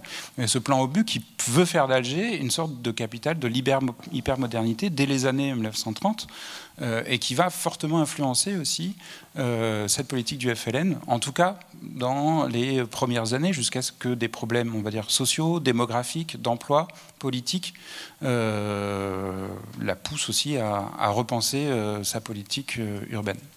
Alors, François Dumazy, en, vous présentant, euh, je, pense que vous avez euh, fini par comprendre que Halim Faidi est, un enfant d'Alger, né à Alger, formé par l'école d'architecture euh, d'Alger, les, Paux. François Dumazy, peut-être que j'aurais dû préciser que, que vos parents étaient, non pas pieds noirs, mais pieds rouges, c'est-à-dire qu'ils sont allés en Algérie entre 69 et 71, c'est bien ça? Alors, quand ils vont là-bas en Algérie, ils découvrent bien sûr une ville européenne, est-ce qu'ils vous, ont euh, fait part de, l'ambiance qu'il y avait euh, à cette époque-là? Est-ce qu'il fallait construire euh, autre chose que ce qui a été fait par les Français? Est-ce qu'il fallait réhabiliter la Casbah ou, où l'idée était une autre période, une période plutôt où l'Algérie était révolutionnaire, et elle faisait appel à tous les amis qui, architectes qui avaient soutenu le combat pour l'indépendance, qu'ils soient français, brésiliens, anglais, japonais ou, même des pays de l'Est, on n'en a pas parlé, mais qui étaient assez, assez présents après l'indépendance de l'Algérie. Qu'est-ce que vous retenez de cette période que, que vous, vous ont transmis vos, vos parents? Je pense que ce n'est pas par, hasard que vous travaillez sur, l'Algérie et cette période coloniale. oui, alors, oui, effectivement, il y a, une diffusion d'un récit un peu mythique de l'Algérie par mes parents, en plus qui était jeunes couples, hein, donc qui ont vécu cette expérience algérienne à la fois comme une expérience exotique et puis je pense pour leur propre histoire comme une expérience euh, de récit des origines, on va dire, euh, de, leur couple. Alors euh, ils n'étaient pas versés ni dans l'urbanisme ni dans l'architecture, ils avaient peu de vision là-dessus, donc moi je ne pourrais pas répondre sur la première partie de la question. Par contre, le récit qu'ils m'en ont fait, alors ils, étaient au rang, ils se sont retrouvés dans un immeuble où étaient en fait logés les coopérants étrangers à la fois français, mais il y avait aussi des Tchèques, euh, des Soviétiques, euh, des Polonais. Euh, donc on a le début aussi hein, de cette coopération qui, va se développer avec les pays de l'Est européen qui, va marquer l'Algérie, dans un univers à la fois foisonnant, où on a cette forme de coopération internationale qui s'établit entre coopérants de, tous bords, assez marqués politiquement, mais pas tous. Hein. On a aussi tous les pieds rouges n'étaient pas rouges, on va dire. Euh, mais donc marqué par, cette expérience-là. L'idée euh, d'une Algérie qui déjà euh, marque un découplement entre une volonté très forte de la part des jeunes générations, ceux que fréquentaient mes parents à l'université, qui étaient leurs étudiants, mais avec seulement quelques années d'écart, souvent porteurs d'idéaux modernisateurs, égalitaires, révolutionnaires, etc., et d'un pouvoir qui euh, se crispe, un pouvoir qui, euh, qui se ferme, ou en tout cas qui ferme l'espace euh, de parole, et qui marque en fait à la fois, alors on a une sorte de, schizophrénie, c'est-à-dire à la fois un rêve partagé de faire de l'Algérie euh, quelque chose de moderne et euh, une société moderne, et en même temps une conception de la modernité qui est différente entre le pouvoir et la population, en tout cas les jeunes générations qui aspirent à trouver leur place dans ce processus de, modernisation et qui en fait vont en être exclus parce que l'histoire du pouvoir politique algérien, c'est aussi une histoire euh, de, l'accaparement du pouvoir par euh, une caste relativement restreinte. Et aujourd'hui, quand vous allez à Alger, vous avez l'impression que, parce que vous êtes allé à plusieurs périodes, la dernière fois c'était en 2014, vous, vous avez des repères qui sont des repères qui renvoient à cette ville européenne ou pour vous tout s'est euh, mélangé avec tout ce qui a été construit depuis l'indépendance? Euh, alors, je ne connais pas totalement Alger, je connais surtout le centre. Alors, d'abord, Alger, moi, ce qui me frappe, c'est que des fois, j'avais l'impression d'être à Marseille. Quoi, Marseille euh, Il y a une ambiance quand même. Et puis, le bâti, euh, le bâti est assez proche, hein. c'est clair. Donc, il n'y a pas franchement un côté de dépaysement. Ce qui, la deuxième chose qui m'a frappé, c'est l'état de la Casbah. Parce qu'on a là quelque chose qui est de l'ordre d'un problème qui est resté, en fait. La Casbah dépréciée lors de l'occupation française, un peu revalorisé dans l'œil des aménageurs à la fin du 19e siècle, quand il s'agit de faire d'Alger aussi une capitale du tourisme euh, français, hein, qui doit faire concurrence avec euh, la Côte d'Azur. La Casbah, qui est vue comme une sorte de, réservoir de quelques maisons emblématiques, mais en fait le reste du tissu urbain euh, n'est pas intéressant. Cette Casbah reste marqué par des trous, par des effondrements, par un état assez délabré euh, du bâti, malgré la volonté réaffirmée depuis des années de faire de la Casbah un quartier sauvegardé, préservé, patrimonial, etc. En fait, on a des destructions qui, continuent dans la Casbah jusque dans les années 1980. la destruction de, l'îlot de l'Alaoum, c'est 1983.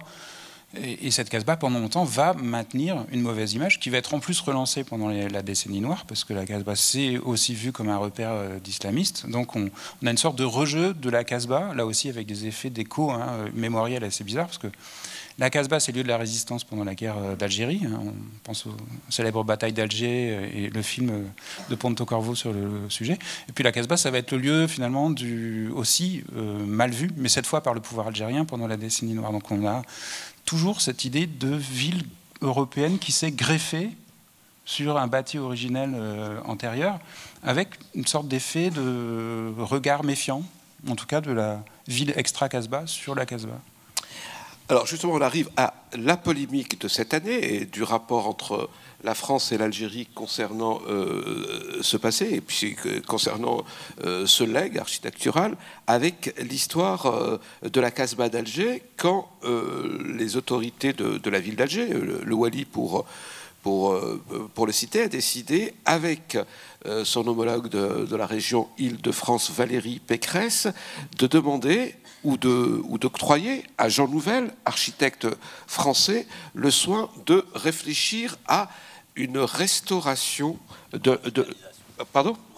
Revitalisation. de la Casbah, c'est vrai, les mots ont leur importance, revitalisation de, la Casbah, et c'est là où on a eu une, une polémique, mais qui était très intéressante. Elle était effectivement euh, euh, passionnée, mais elle était intéressante parce qu'il y avait tous les points de vue.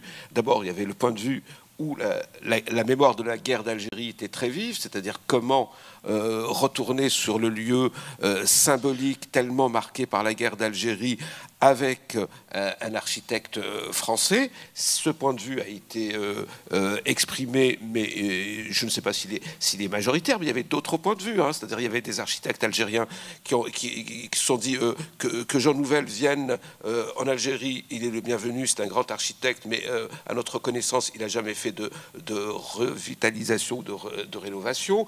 D'autres lui, lui, lui conseillaient, mais là aussi, alors est-ce qu'il lui conseillait d'une manière euh, positif ou négatif, de s'occuper plutôt du parc français de, la ville d'Alger. Et puis ensuite, il y avait euh, cette polémique algéro-algérienne en disant mais euh, des, projets pour la Casbah, il y en a eu beaucoup qui ont été réfléchis par, par les Algériens. Et puis enfin, j'ai vu même un point de vue des gens qui disaient euh, si l'architecte était espagnol et italien, il n'y aurait pas eu les mêmes euh, conséquences, les mêmes problèmes et la, même polémique. Je voudrais vous entendre là, là-dessus parce que c'est, quelque chose qui parle d'aujourd'hui, qui va nous permettre peut-être ensuite de nous projeter dans, le futur.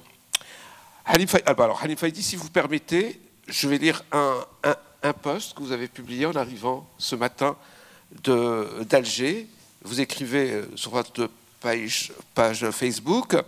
Petit encas sur les terrasses du port à Marseille. Ça fait 20 ans que je rêve de la même position sur les terrasses du port d'Alger que j'aurais voulu dessiner, mais on m'a dit que la wilaya d'Alger l'aurait déjà confié sans appel d'offres, ni cahier des charges, et sans réaction de l'ordre professionnel à un grand architecte français, Jean Nouvel, qui ne connaît pas l'Algérie. Bref, on a dû juger du haut des cimes que nous sommes nuls, puisque algériens, mais mon instinct me dit qu'un jour, je m'assierai à l'amirauté et que j'y consommerai ce que je veux et ce que j'aime. Foi d'animal. Oh là là, c'est violent. Hein. vous, qui avez réussi à, ne pas euh, vous exprimer publiquement en tant que grand architecte alger dans cette polémique, là, vous vous lâchez, Halim Faidi. Ben, euh, alors en réalité, euh, ça fait à peu près 25 ans que ça fait à peu près 25 ans que je parle, euh, sinon de la Casbah d'Alger, en tout cas, et que je défends la Casbah sans appartenir vraiment à aucune organisation. Les associations m'invitent, je viens. J'ai une très très belle conférence sur Alger. J'en ai une que j'ai donnée il y a une année. Merci Christine. ici à Marseille. à l'Alcazar, et puis qui s'intitulait Si tu veux comprendre Marseille, laisse-moi te raconter Alger. Et donc j'ai expliqué Marseille en montrant Alger, ce qui est quelque chose d'assez. Et puis, euh, donc arrive cette, cette, histoire de la, de la d'Alger, sur lequel beaucoup, beaucoup de travail a déjà été fait, non seulement dans les 60 années à peu près d'indépendance, un peu moins, mais aussi un travail qui avait déjà été entamé à la fin de la colonisation, où on a pris conscience qu'il y avait un tissu patrimonial qui avait allez, 3000 ans d'architecture, 5-6 000 ans d'archéologie, euh, et, donc il y a beaucoup, beaucoup, beaucoup, beaucoup de travail qui a été fait. Aujourd'hui, la Casbah d'Alger, c'est un tissu surdense. Vous avez à peu près 60 000 personnes qui vivent dans un endroit où devraient vivre 15 000, 20 000. Mais c'est une constante historique. Hein. On recense dans les années 30 à peu près la même, le même rapport de densité. Euh, parce que c'est une longue introduction, une cité, préparer, euh, oui, oui, c'est une cité tremplin. Et puis c'est aussi une cité légitimante de la révolution algérienne un grand chef qui ne serait pas passé par la Casbah d'Alger n'est pas légitime d'être un grand chef. C'est comme ça, c'est dans la mémoire euh, collective tout ça. Et puis arrive cette histoire de Jean Nouvel qui tombe comme une espèce de... Alors moi, j'ai vu venir le coup parce qu'on a un peu d'informations, on, va dire on est un peu autorisé, informé. Euh, il y a d'abord un premier partenariat qui est fait entre la région Île-de-France, euh, présidée par Valérie Pécresse, et euh, la région d'Alger, présidée par le Wali d'Alger. Mais il était question de travailler sur le tissu euh, de l'époque coloniale, tissu 19e siècle. Et donc, moi, je me suis dit, je, me mets en, dehors. Euh, c'est très bien ce qui est en train d'arriver. Je vais, le dire un peu vulgairement. il nous manque le mode d'emploi. Les, Français sont partis dans des conditions un peu spéciales, difficiles, dures. Les derniers mois étaient affreux. Hein. Ce qu'a fait l'OS, c'est quelque chose d'assez ignoble vis-à-vis d'abord des Français. Bon. Et puis, euh, donc arrive, arrive cette histoire de Jean Nouvel où on nous dit Jean Nouvel va revitaliser la Casbah. Or, la Casbah est vitale, malgré ses 60 000 personnes. Et là s'enclenche une énorme polémique. 400 intellectuels vont faire une lettre, on ne veut pas de nouvelles, etc. D'autres vont dire non, non, non, pourquoi pas, de toute façon, on n'a rien fait jusque-là, etc. Bon, ça part comme toutes les polémiques. La véritable question, c'est que Jean Nouvel n'est ni le problème, ni la solution. Jean Nouvel n'est pas autorisé à intervenir sur du patrimoine en France. Et la première fois qu'il foule euh, la terre euh, algérienne, c'est à cette occasion. On lui dit Viens nous aider à avoir une vision comme si nous étions aveugles et comme si nous ne pouvions pas réfléchir. Parce que c'est 5000 ans, euh, la Casbah. Hein. Moi, je dis toujours attention. Les Français ont essayé de nous faire croire que nous étions juste des indigènes et que nous allions, si on était si on, va dire on était, je cherche un, mot qui soit sympa, si on était sympa, allez, eh ben on allait devenir français un jour, et ensuite, à l'indépendance, les Algériens nous ont dit, vous êtes arabes et musulmans. Or, moi, je suis un berbère africain, judaïsé, romanisé, christianisé, latinisé, islamisé, colonisé, décolonisé, recolonisé par moi-même, socialisé. J'ai 5000 ans et on veut me réduire à une toute petite portion. Mais je veux bien accepter ma dernière peau, qui est une peau française. C'est la langue avec laquelle je pense. C'est peut-être pas la langue avec laquelle je rêve. J'ai une chance, je rêve dans une autre langue. Et puis j'en parle une troisième, et puis une quatrième, etc. Toute cette puissance-là m'autorise, moi, à réfléchir sur mon patrimoine, sur mon passé et mon histoire. Quand je mets histoire, je mets vraiment un grand H. Ça veut dire beaucoup, beaucoup de temps. Or, quand je dis Jean Nouvel n'est ni le problème ni la solution, il est peut-être l'arbre qui cache la forêt. Mais il a fallu d'abord ne pas s'exprimer, attendre, euh, bien analyser les choses. Mais euh, Jean Nouvel ne se déplace pas pour 800 000 euros. Ça, ça n'existe pas. Euh, c'est un très très grand architecte, je l'admire énormément. C'est quelqu'un qui m'a beaucoup inspiré, par qui j'ai appris. J'aime à peu près aller 90% de son œuvre elle est vraiment extraordinaire. C'est une des très très très grandes fiertés de la France. Il est Pritzker Prize, c'est l'équivalent du Nobel en architecture. Mais à ce, titre, à mon sens, ne lui permet pas d'intervenir en tête de file, je dis bien en tête de file, sur un tissu patrimonial. Par contre, qu'est-ce que j'aimerais qu'il nous dessine une très belle tour à Alger? Parce qu'aujourd'hui, les capitales ont besoin d'avoir des bâtiments emblématiques qui montrent que nous sommes dans le concert du monde. Non, mais c'est parce qu'il est français ou parce qu'il n'a jamais fait de non, alors, réhabilitation? Moi, j'ai donné d'abord mon avis. Mon avis, c'est parce que je pense qu'on ne, on, ne peut pas choisir. Sur ces critères-là, on ne peut pas. D'abord, ce n'est pas une question d'architecte, la Casbah d'Alger, c'est une question éminemment d'urbanisme. Et l'urbanisme est un instrument politique. Ça veut dire que si, du côté de l'État et de la gouvernance, il n'y a pas une vision qui soit donné ensuite à des urbanistes, à des architectes. En fait, il n'y a pas de projet pour la Casbah. Personne n'a été capable, et ça fait 25 ans que je le demande, et je ne veux pas que ce soit un architecte qui le donne, que ce soit l'État qui le donne, il faut faire les choses vraiment dans l'ordre. Personne n'a dit, dans 30 ans, ben, la Casbah d'Alger, ça sera ceci ou cela. Ça sera une cité universitaire, ça sera un centre touristique, ou ça sera tout simplement, comme le panier ici, comme le marais à Paris, un quartier euh, tout à fait ordinaire, traversable, dans lequel je peux euh, voilà, passer une nuit, retirer de l'argent, aller à l'école, avec une caractéristique patrimoniale très forte. En tout cas, c'est ce qu'on voudrait. Mais Nouvelle ne se déplace pas pour 800 000 euros, c'est mon analyse. Pécresse prépare un trésor de guerre, je pense qu'elle va aller au présidentiel en 2023. Vous voyez, on suit bien, la parabole et tout ça. Et donc Pécresse va aller au présidentiel, elle a besoin d'un butin, elle a besoin d'un trésor de guerre. Après, ce que dit euh, euh, ce que vous dites est est, très intéressant parce que ça aurait été Alvaro Siza, architecte portugais, euh, je pense que ça serait passé comme ça. Mais le fait que ce soit un architecte français, et Dieu sait, je, vous assure que c'est très très sincère, c'est vraiment un, de mes architectes préférés, après Oscar Niemeyer, après d'autres gens qui sont encore... Voilà. Et, euh, et donc, qu'est-ce que ça a réveillé? Ça a réveillé la facette de cité légitimante de la révolution algérienne, qui est la Casbah. Presque on dirait, ah ben, si pas un ancien combattant, eh ben, tu ne peux pas intervenir à la Casbah. Presque. Hein. Dans l'inconscient collectif, c'est très intéressant d'analyser cet aspect-là, qui dit qu'il faut faire très attention parce que euh, le, fil est encore chaud entre, entre l'Algérie et la France. Et puis s'il était venu intervenir sur le tissu colonial, euh, ou de la période coloniale, j'aime pas l'idée de tissu colonial, ville coloniale, ça ne veut rien dire, c'est ni un style, ni un... C'est de cette période. S'il était venu intervenir sur le tissu 19e, 20e, eh ben, personne n'aurait rien dit. Le fait qu'il intervienne sur la Casbah d'Alger, c'est beaucoup le prennent comme un viol d'identité, et encore une fois, confier à l'autre un regard sur ce que la France a détruit le tiers de la Casbah. C'est-à-dire, on aurait préféré qu'il intervienne sur ce que la France a construit plutôt que sur ce qu'elle a détruit. Voilà, c'est résumé.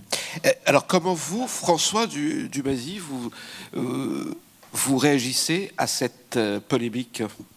Euh, alors, je pense que, fait, ça, révèle euh, des éléments structurants de la, du fonctionnement du pouvoir en Algérie et, en fait, de la façon de concevoir les politiques urbaines en Algérie, qui est en fait quelque chose qui n'a pas été résolu depuis 1962, euh, même si l'État s'est doté à partir de 1990 puis 1998 de lois qui lui permettent d'intervenir plus largement sur le tissu urbain, de promouvoir des politiques de protection, etc ce dont on se rend compte hein, quand on lit euh, en fait la production très foisonnante sur l'Algérie, puisqu'il y a une production très foisonnante sur l'Algérie de la part d'étudiants en architecture, euh, essentiellement d'étudiants en urbanisme qui font beaucoup de mémoires, beaucoup de travaux, c'est qu'on n'a pas de politique cohérente tant au niveau de la ville qu'au niveau de l'Algérie euh, elle-même, avec une hésitation qui a été faite entre euh, l'ouverture ou non de l'Algérie au, tourisme ou pas, ce qui aurait d'ailleurs conditionné la façon de voir le patrimoine, et une façon de, concevoir le patrimoine qui n'a jamais été exemple de, considération de pouvoir.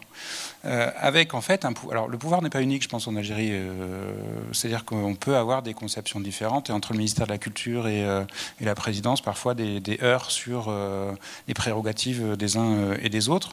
On en en plus en Algérie euh, désormais euh, toute une, euh, disons un, groupe d'architectes, d'urbanistes très bien formés, d'archéologues aussi, qui tentent d'intervenir. Hein, on a un exemple là qui vient d'être donné, qui tentent d'intervenir dans un processus, mais qui n'est pas nécessairement écouté. Et puis on a cette sorte de séparation entre les préconisations ou pas, finalement, du pouvoir, si on veut utiliser ce mot un peu valise, dans la politique de la ville, et la façon dont les habitants, eux, vivent la ville avec souvent des phénomènes de réappropriation, de contournement, euh, de vécu de la ville qui est totalement différente. Euh, alors, euh, c'est le cas dans les périphéries où le logement, la demande de logement est extrêmement forte. C'est le cas dans la Casbah qui, qui, vit à peu près en autonomie finalement en, termes économiques, mais aussi de. Alors sur le, la densité de la Casbah, la Casbah moi j'avais lu que le, le taux d'occupation des logements c'est 8 à 10 personnes par logement dans la Casbah. C'est énorme. C'est un taux de densité qui est euh, extrêmement fort, qui, suppose aussi des conditions matérielles euh, relativement difficiles. Mais pour revenir un peu au problème, cette, cette polémique vous étonne Vous la comprenez euh, non, vous, dites qu'un jour, Français et Algériens vont pouvoir travailler aussi bien sur la Casbah que sur le reste de, de la ville. Je ne doute pas que Français et Algériens finissent par, dialoguer. Ils ont trop de choses en commun, ça c'est bah évident. Maintenant, il y, a, des phénomènes de pourquoi fait-on appel à Jean Nouvel? Peut-être parce que c'est une star et qu'on reste dans des politiques de, de, grand prestige, mais qui n'ont rien pourquoi derrière. Pourquoi fait-on appel à Jean Nouvel pour la Casbah? C'est ça la, la, Oui, parce que c'est parce qu'il n'y a pas de pensée nécessairement euh, sur ce que doit être la Casbah. Mais par contre, Jean Nouvel, c'est un nom qui, sonne, c'est un nom euh, qui, qui. C'est bon pour le tourisme, c'est oui. C'est voilà, associé euh, à, Paris, c'est associé à Barcelone, c'est associé à d'autres réalisations de prestige. Donc peut-être que c'est ça qui a joué. Mais je pense qu'il n'y a pas de pensée réelle sur ce que doit être la Casbah ou ce que doit être la politique de sauvegarde patrimoniale, même si des instruments sont là, mais ils ne sont pas nécessairement utilisés en fait. Absolument. À quoi ressemblera Alger? Et ce sera la dernière question. En 2035, est-ce que, est-ce que la ville européenne sera toujours au centre avec, avec le port, avec une drôle de relation à la mer, parce que la différence avec Marseille, c'est que les Marseillais vivent avec la mer, les Algérois, ils vivent dos à la mer.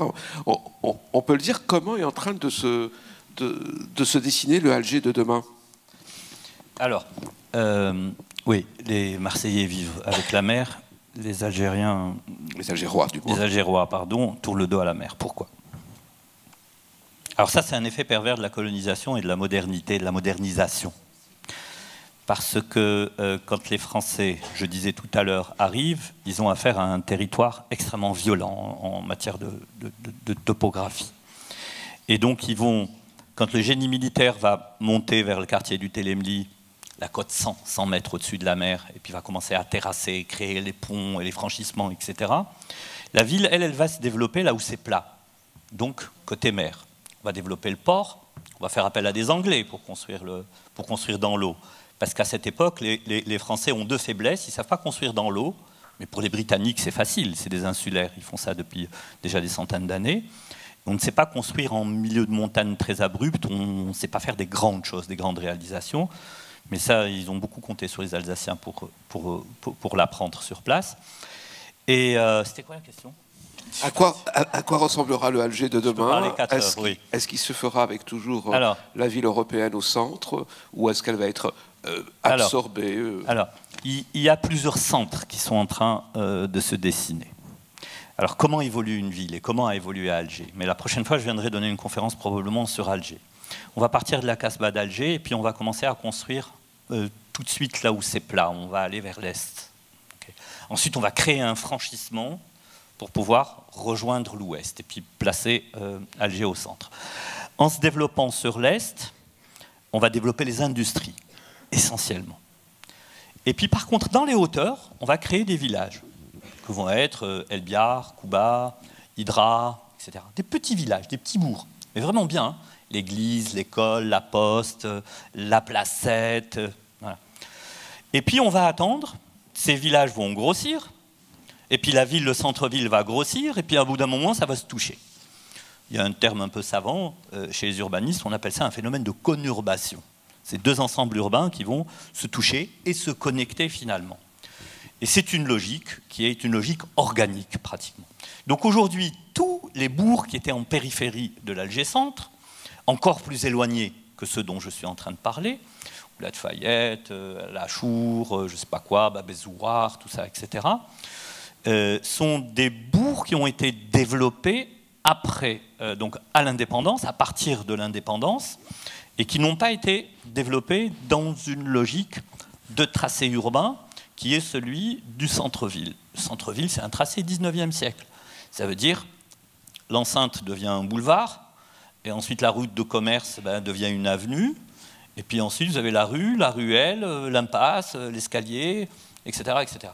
Et là, on va, je disais, les années 80 vont être euh, rapidement des, décennie de très très grosses spéculations puisqu'on va libérer l'entreprise, on va dire, et les promoteurs euh, vont s'éclater. Et, donc il y a de nouveaux centres, bien faits, mal faits, mais en tout cas, ils regroupent des populations.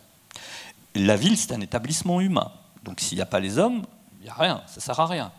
la ville, c'est comme le corps, et puis euh, nous, le vivant, la société, on est comme l'esprit, on est liés. Hein. Si l'un tombe malade, si, la ville est malade, elle ne peut pas générer une société saine. Les, questions d'urbanisme sont très importantes. Vous avez vu les dégâts des, cités des années 60-70, des HLM euh, que, ça a provoqué euh, en Europe.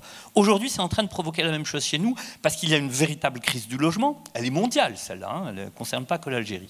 Mais les exodes qui se font de plus en plus vers les territoires urbains, partout, parce qu'on pense que la ville, elle amène du bonheur, c'est comme ça, vous avez 800 millions d'Africains qui ont entamé une marche lente aujourd'hui pour aller tripler la population des villes. Ils quittent la misère des campagnes pour aller chercher un Éden euh, ailleurs. Et donc ce phénomène est arrivé en Algérie, et il est arrivé très très fort dans les années 2000 parce qu'on avait une manne financière importante et qu'on a décidé de répondre de la manière la plus mécanique à cette question de crise du logement. Et on a créé des logements HLM, des cités Hein, les mêmes que vous avez, euh, je sais pas moi, au Baumet, à, à Vaux-en-Velin, à, tout ce que vous voulez. Et donc livré euh, très vite par les Chinois. Voilà, livré très très vite, payé en pétrodollars, sans qu'aucun Algérien ne soit formé. C'est-à-dire, c'est fait véritablement à 90% par des ouvriers étrangers qu'on amenait pour se faire former, et ça avait commencé par des prisonniers chinois. C'est dire la question des droits de l'homme et des droits humains, etc. Et euh, par contre, il y a de nouveaux centres improvisés qui, euh, voilà, qui, en tout cas, répondent à la demande d'une euh, urbanité, c'est-à-dire des quartiers mixtes, pour aller vite, hein. mixtes socialement, mais également mixtes fonctionnellement. Hein. c'est-à-dire que c'est la, ville, c'est je le veux, je l'ai. je veux aller au cinéma, je l'ai. Je veux aller au restaurant, je l'ai. Versus la campagne, si je veux quelque chose, ben, il faut que j'aille en ville. Donc, grosso modo, le centre-ville, euh, allez, on en est à 50% de compréhension, euh, non seulement de l'échelle macro, c'est-à-dire la compréhension des tissus. Alger, c'est une ville extraordinaire. Je vais vous dire pourquoi. Alors, c'est vraiment la passion maintenant qui parle. Parce qu'Alger a copié la Casbah. Casbah d'Alger, je vous ai expliqué ce phénomène de grappe et des maisons qui se tiennent l'une l'autre quand les, Français ont mis quand même 50 ans avant de commencer à intervenir à, l'extérieur de la Casbah. Et ils ont vu ce territoire extrêmement violent, ils ont observé la Casbah, ils ont dû se dire, mais comment ils ont fait cela? Parce que, en fait, il n'y a pas de science, hein. c'est un amoncellement vernaculaire de 3000 ans, comme ça, de façon de faire. Ce qu'on appelle la culture, entre guillemets. Et puis, ils vont ériger une ville dans un territoire extrêmement abrupt en faisant en sorte que les immeubles soutiennent le territoire et pas l'inverse c'est-à-dire comme à la Casbah d'Alger. Combien de situations vous pouvez rencontrer à Alger où vous rentrez dans un immeuble, vous montez quatre étages, vous ressortez dans la rue supérieure? En fait, c'est l'immeuble qui va se. C'est pour ça que je dis le génie militaire a été extrêmement influent dans les techniques qui ont été utilisées pour maîtriser un territoire complexe et violent. Et donc, le centre-ville va rester et, il est déjà adopté. Je, vais vous dire, j'ai posé la question à des habitants de la Casbah d'Alger sur les percées qui ont été faites à l'intérieur de la Casbah, donc 19e siècle. Je leur dis, c'est quel, style? On me dit, c'est un style Casbah. Donc les gens s'approprient les lieux, même si ce ne sont pas eux qui, qui ont planté la graine, mais ils récupèrent le fruit. Et ils considèrent que ces architectures de 1860, 70, 80, on en retrouve très peu à l'extérieur. Hein. on va les retrouver beaucoup dans les percées de la Casbah. Eh bien, elles vont être totalement adoptées. Donc le centre-ville, il est adopté. Aujourd'hui, le quartier du Sacré-Cœur, si vous avez envie de faire un petit troquet, un bouchon, boire un verre, etc., c'est au Sacré-Cœur que ça se passe. Et vraiment derrière l'église, derrière la cathédrale du Sacré-Cœur. Merci. Donc le centre va rester. Le centre va rester. Euh, je pense qu'on va se rendre compte petit à petit qu'on a fait les mêmes conneries que vous sur les, périphéries et la question de l'habitat, parce qu'on euh, a fait des logements. Et se loger, c'est une action mécanique. C'est la balle, c'est logé entre l'omoplate et, et, la colonne vertébrale. Alors que habiter, c'est fusionner avec son environnement. C'est se donner la capacité de transformer son environnement sans le dégrader. Parce que quoi qu'on fasse, ça finit par nous impacter. Donc moi, j'ai plutôt des très belles visions. En plus, on a eu une très bonne nouvelle là en début de, en début de conférence. Peut-être que quelque chose part. Tu vas laisser les gens te poser des questions. Allez, tu vas laisser les gens te poser un peu de questions. Alors pour terminer, euh, euh, je vais demander à Florence Unovitz et Camille euh, Faucourt de, nous rejoindre parce que, et, et d'ouvrir le débat, mais peut-être un mot. Bien sûr, et Halim Faidi va lire aussi un tout petit texte, mais tout d'abord, je, voulais aussi vous donner euh, le mot de la fin. François Dumazy, est-ce qu'aujourd'hui, quand vous allez à Alger, vous vous dites, euh, au fur et à mesure que vous, sortez du centre-ville, vous dites, euh, c'est la ville européenne, c'est Dubaï, c'est la Chine. Est-ce que vous avez l'impression de, de, voyager dans le monde quand vous quand vous, vous baladez à Alger? Alors, ce serait beaucoup dire, hein, parce que alors c'est clair qu'il y a eu du, point de vue de l'urbanisme algérien la volonté de faire d'Alger une ville, euh, une ville monde un peu, mais une ville aussi qui s'inscrit dans un passé avec euh, la valorisation du côté euh, musulman, avec la construction de la grande mosquée, etc. Moi, je ne vois pas ça parce que je ne suis pas urbaniste ou architecte. Je suis historien et, je m'occupe aussi euh, de cours sur la géopolitique actuellement à, Sciences Po Ex. Ce que je vois à Alger, je, vois en fait une question sociale, une question politique éminente. Parce que quand il y a les émeutes d'octobre 88 à Alger qui ont lieu et quand ensuite il y a ce basculement entre 88 et 91 du pouvoir algérien qui hésite, se réforme, etc. Euh, le fils, euh, d'où tire-t-il en fait sa légitimité? D'une présence dans la périphérie des grandes villes, notamment euh, d'Alger, dans des quartiers qui ont été délaissés par le pouvoir, où les pouvoirs publics ne sont pas présents, où les équipements sont insuffisants. et le fils, en fait, il va s'insinuer dans ces interstices urbains en proposant des services, en proposant euh, en fait une forme d'organisation qui va se greffer sur des formes d'auto-organisation qui sont déjà présentes. Ça, c'est pour la crise sociale et politique. Mais est-ce que quand vous vous euh, promenez dans Alger, il y a aussi la crise identitaire qui vous, euh, que, vous ressentez un peu Parce qu'on peut passer de, l'extrême-orient à, à l'Europe? Comment ils le vivent? Ils le vivent plutôt bien, d'après vous? On se sent bien dans cette ville? Alors ça, je ne peux pas répondre à la place des Algériens. Moi, ce que je vois, c'est la coupure. C'est le regard d'un Français qui, ah. travaille sur l'Algérie qui, qui, nous intéresse. Vous savez, les Français, ils, projettent toujours sur l'Algérie tout un imaginaire euh, très confus et, contradictoire. Comme on, va le voir euh, tout à l'heure dans la performance de, de Nabil euh, Djedouani, et pas seulement les Français, tout le Donc on va y chercher à la fois la Casbah qui fait frissonner, en même temps les signes de la présence française, on va y chercher les signes de cette Algérie capitale du tiers-monde des années 70 euh, modernisatrice, et, etc. Ce qu'on voit, c'est des coupures. Moi, enfin, en tout cas, dans, le centre, euh, hein, j'ai l'impression qu'on passe d'un espace à l'autre. C'est-à-dire que comment fonctionne Alger entre l'articulation entre la Casbah et le reste de la ville, c'est compliqué. On, se demande comment ça fonctionne. Euh, vivre dans la Casbah, moi je me demandais comment ça fonctionne. C'est-à-dire que, mais pareil au Caire, hein, si on va à Khan el etc., on se demande comment les gens vivent et on, a, on a l'impression d'être étranger à cet espace. Donc moi je vois un espace fractionné, je vois un espace euh, composite où éventuellement les, ah, vous n'êtes pas d'accord les habitants. Euh, non, mais je veux dire du niveau simplement de la forme. Euh, l'espace public n'est pas du tout le même entre la Casbah et le reste, ou entre les quartiers de villas, ou entre les quartiers de grands ensembles, etc. Et j'ai l'impression que les Algériens, au fait, s'adaptent en fonction du déplacement, de là où ils vont, euh, à l'espace. C'est-à-dire qu'on on a, on est dans un, espace pluriel. Après, il peut y avoir des, constantes. Mais euh, dans, dans, l'espace qui, existe, on s'adapte en fait et on se réapproprie. Si vous avez des questions à poser à François Dumazy et à Halim Faidi, qui va d'abord nous lire un, texte, je crois, mm. eh ben c'est le moment. Voilà, j'ai très et je prendrai deux, trois questions. Madame, madame, et, et ben voilà, c'est bon.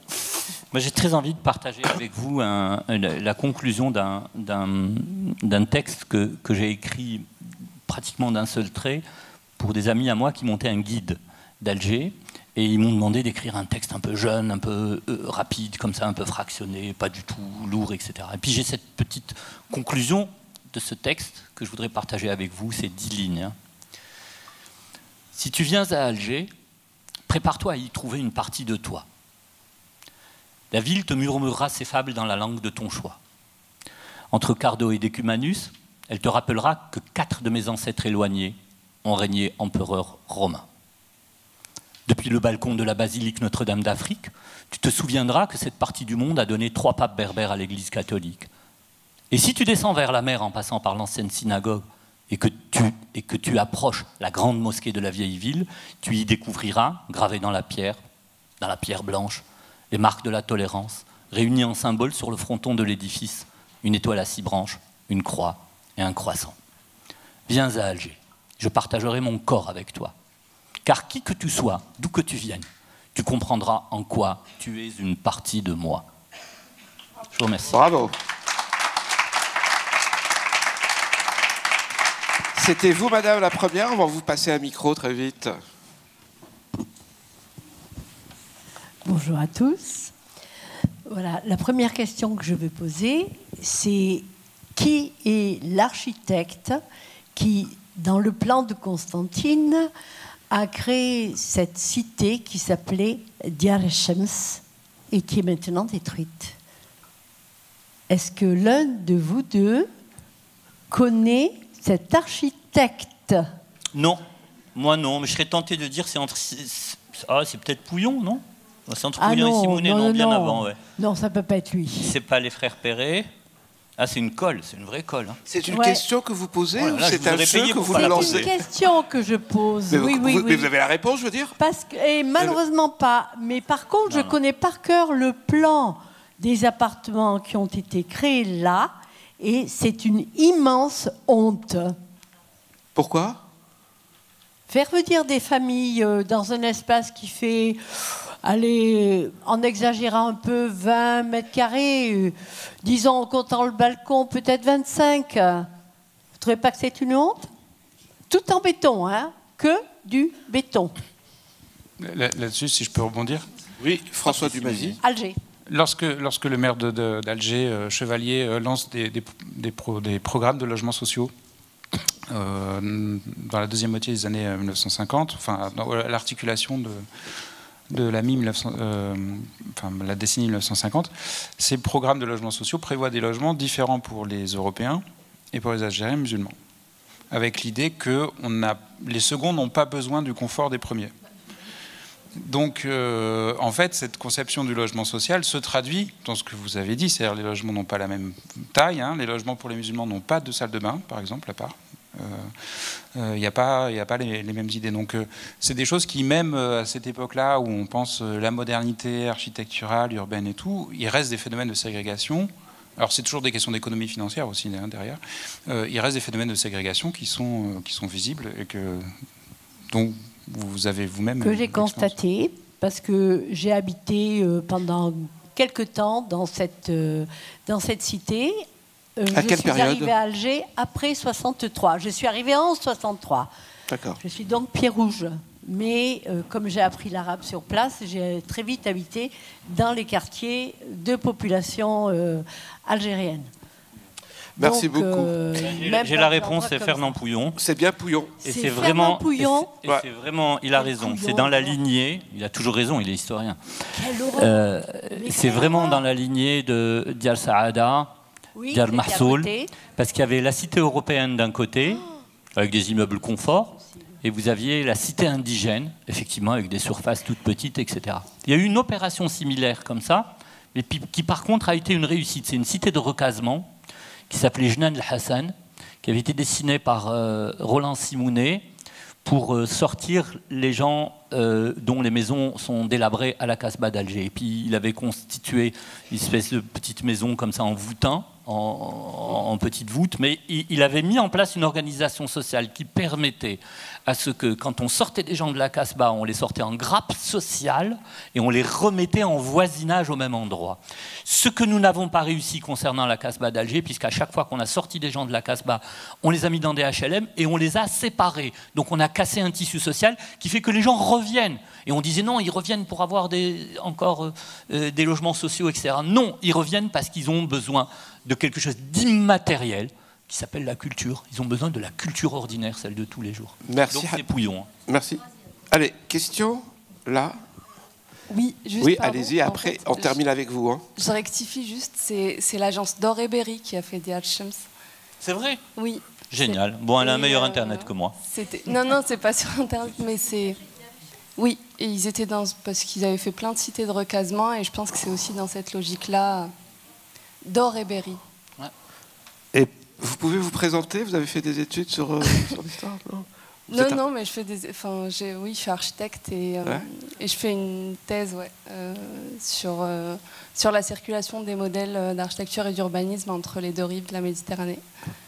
Merci beaucoup. je travaille sur Merci. Hein. Merci. La jeunesse a encore des choses à nous apprendre. Enfin, madame, pour terminer, parce qu'après, ensuite, ensuite, il y a le spectacle c'est Nabil Jedwani qui nous demandera de, le rejoindre à l'auditorium pour une performance autour de la déreprésentation de la Casbah. Madame, pour terminer ce débat.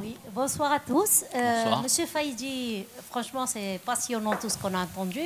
je voudrais vous demander, euh, pour la villa Abdeltif, euh, si vous pouvez nous dire de quelle époque elle est? Euh, cette villa magnifique qui se trouve sur les hauteurs d'Alger et qui accueille des artistes. Et ma deuxième question, elle est plus d'actualité. Vous avez, je vous prends au mot et vous avez dit qu'il faut mettre à plat donc euh, France-Algérie. C'est vrai que c'est pas évident. Et là, moi, je réagis en tant qu'Algérienne parce qu'on a l'impression que la France, euh, avec ce qui se passe aujourd'hui dans la rue d'Alger, on dirait que c'est on dirait qu'il se passe on, rien. on veut mettre de l'huile sur le feu, ou je veux dire, c'est un peu compliqué pour, pour moi de comprendre les réactions de médias, de, de gens ici en France, alors que. Sur ce qui se passe en ce moment? En ce moment, oui. D'accord. Voilà ma euh, question. Donc, euh, bah, la première question, c'est de votre bah, La première hein. question, euh, la Villa Abdeltif, c'est une maison mauresque. Elle n'est pas néo-mauresque. Euh, par contre, vous pouvez facilement trouver euh, sa date, elle doit être du XVIIe siècle, je pense, 16e, hein. 17e. Mais j'ai pas de, pas de connaissance, euh, j'ai pas l'affiche, on va dire, du, bâtiment. Mais c'est une véritable maison mauresque qui a été très bien réhabilitée, par contre, très bien réhabilitée. Mais j'ai pas de, j'ai pas l'affiche. Maintenant pour l'autre question. Je, m'attendais à ce qu'on me pose cette question aujourd'hui, puis j'étais venu avec une réponse toute faite. Je vais donner la réponse, mais en fait, c'est pas ça la vraie réponse. J'avais envie de dire, je n'ai pas envie de parler de ça, mais surtout de dire, s'il vous plaît, cette fois-ci, vous mêlez pas. C'est pas que la France. Hein. La France, les États-Unis, l'Allemagne, que sais-je, la Chine, ne vous mêlez pas. Parce que, euh, pour une fois, il y a une expression populaire euh, dont je suis extrêmement fier, parce qu'on a mis 10 millions de personnes dans la rue, il n'y a pas eu un. Je veux dire, les gens nettoient les rues après la manifestation. Et on se disait, mais qu'est-ce qui s'est passé? Qu'est-ce qui s'est passé? Une population qui est censée être euh, polytraumatisée, euh, qui a reçu 20 ans d'une très mauvaise éducation, une très mauvaise prise en charge, mais d'où ils sortent ces gamins? Il y, a, un gamin sur une vidéo qui a dit J'ai l'impression que c'est des Japonais. c'est histoire de dire.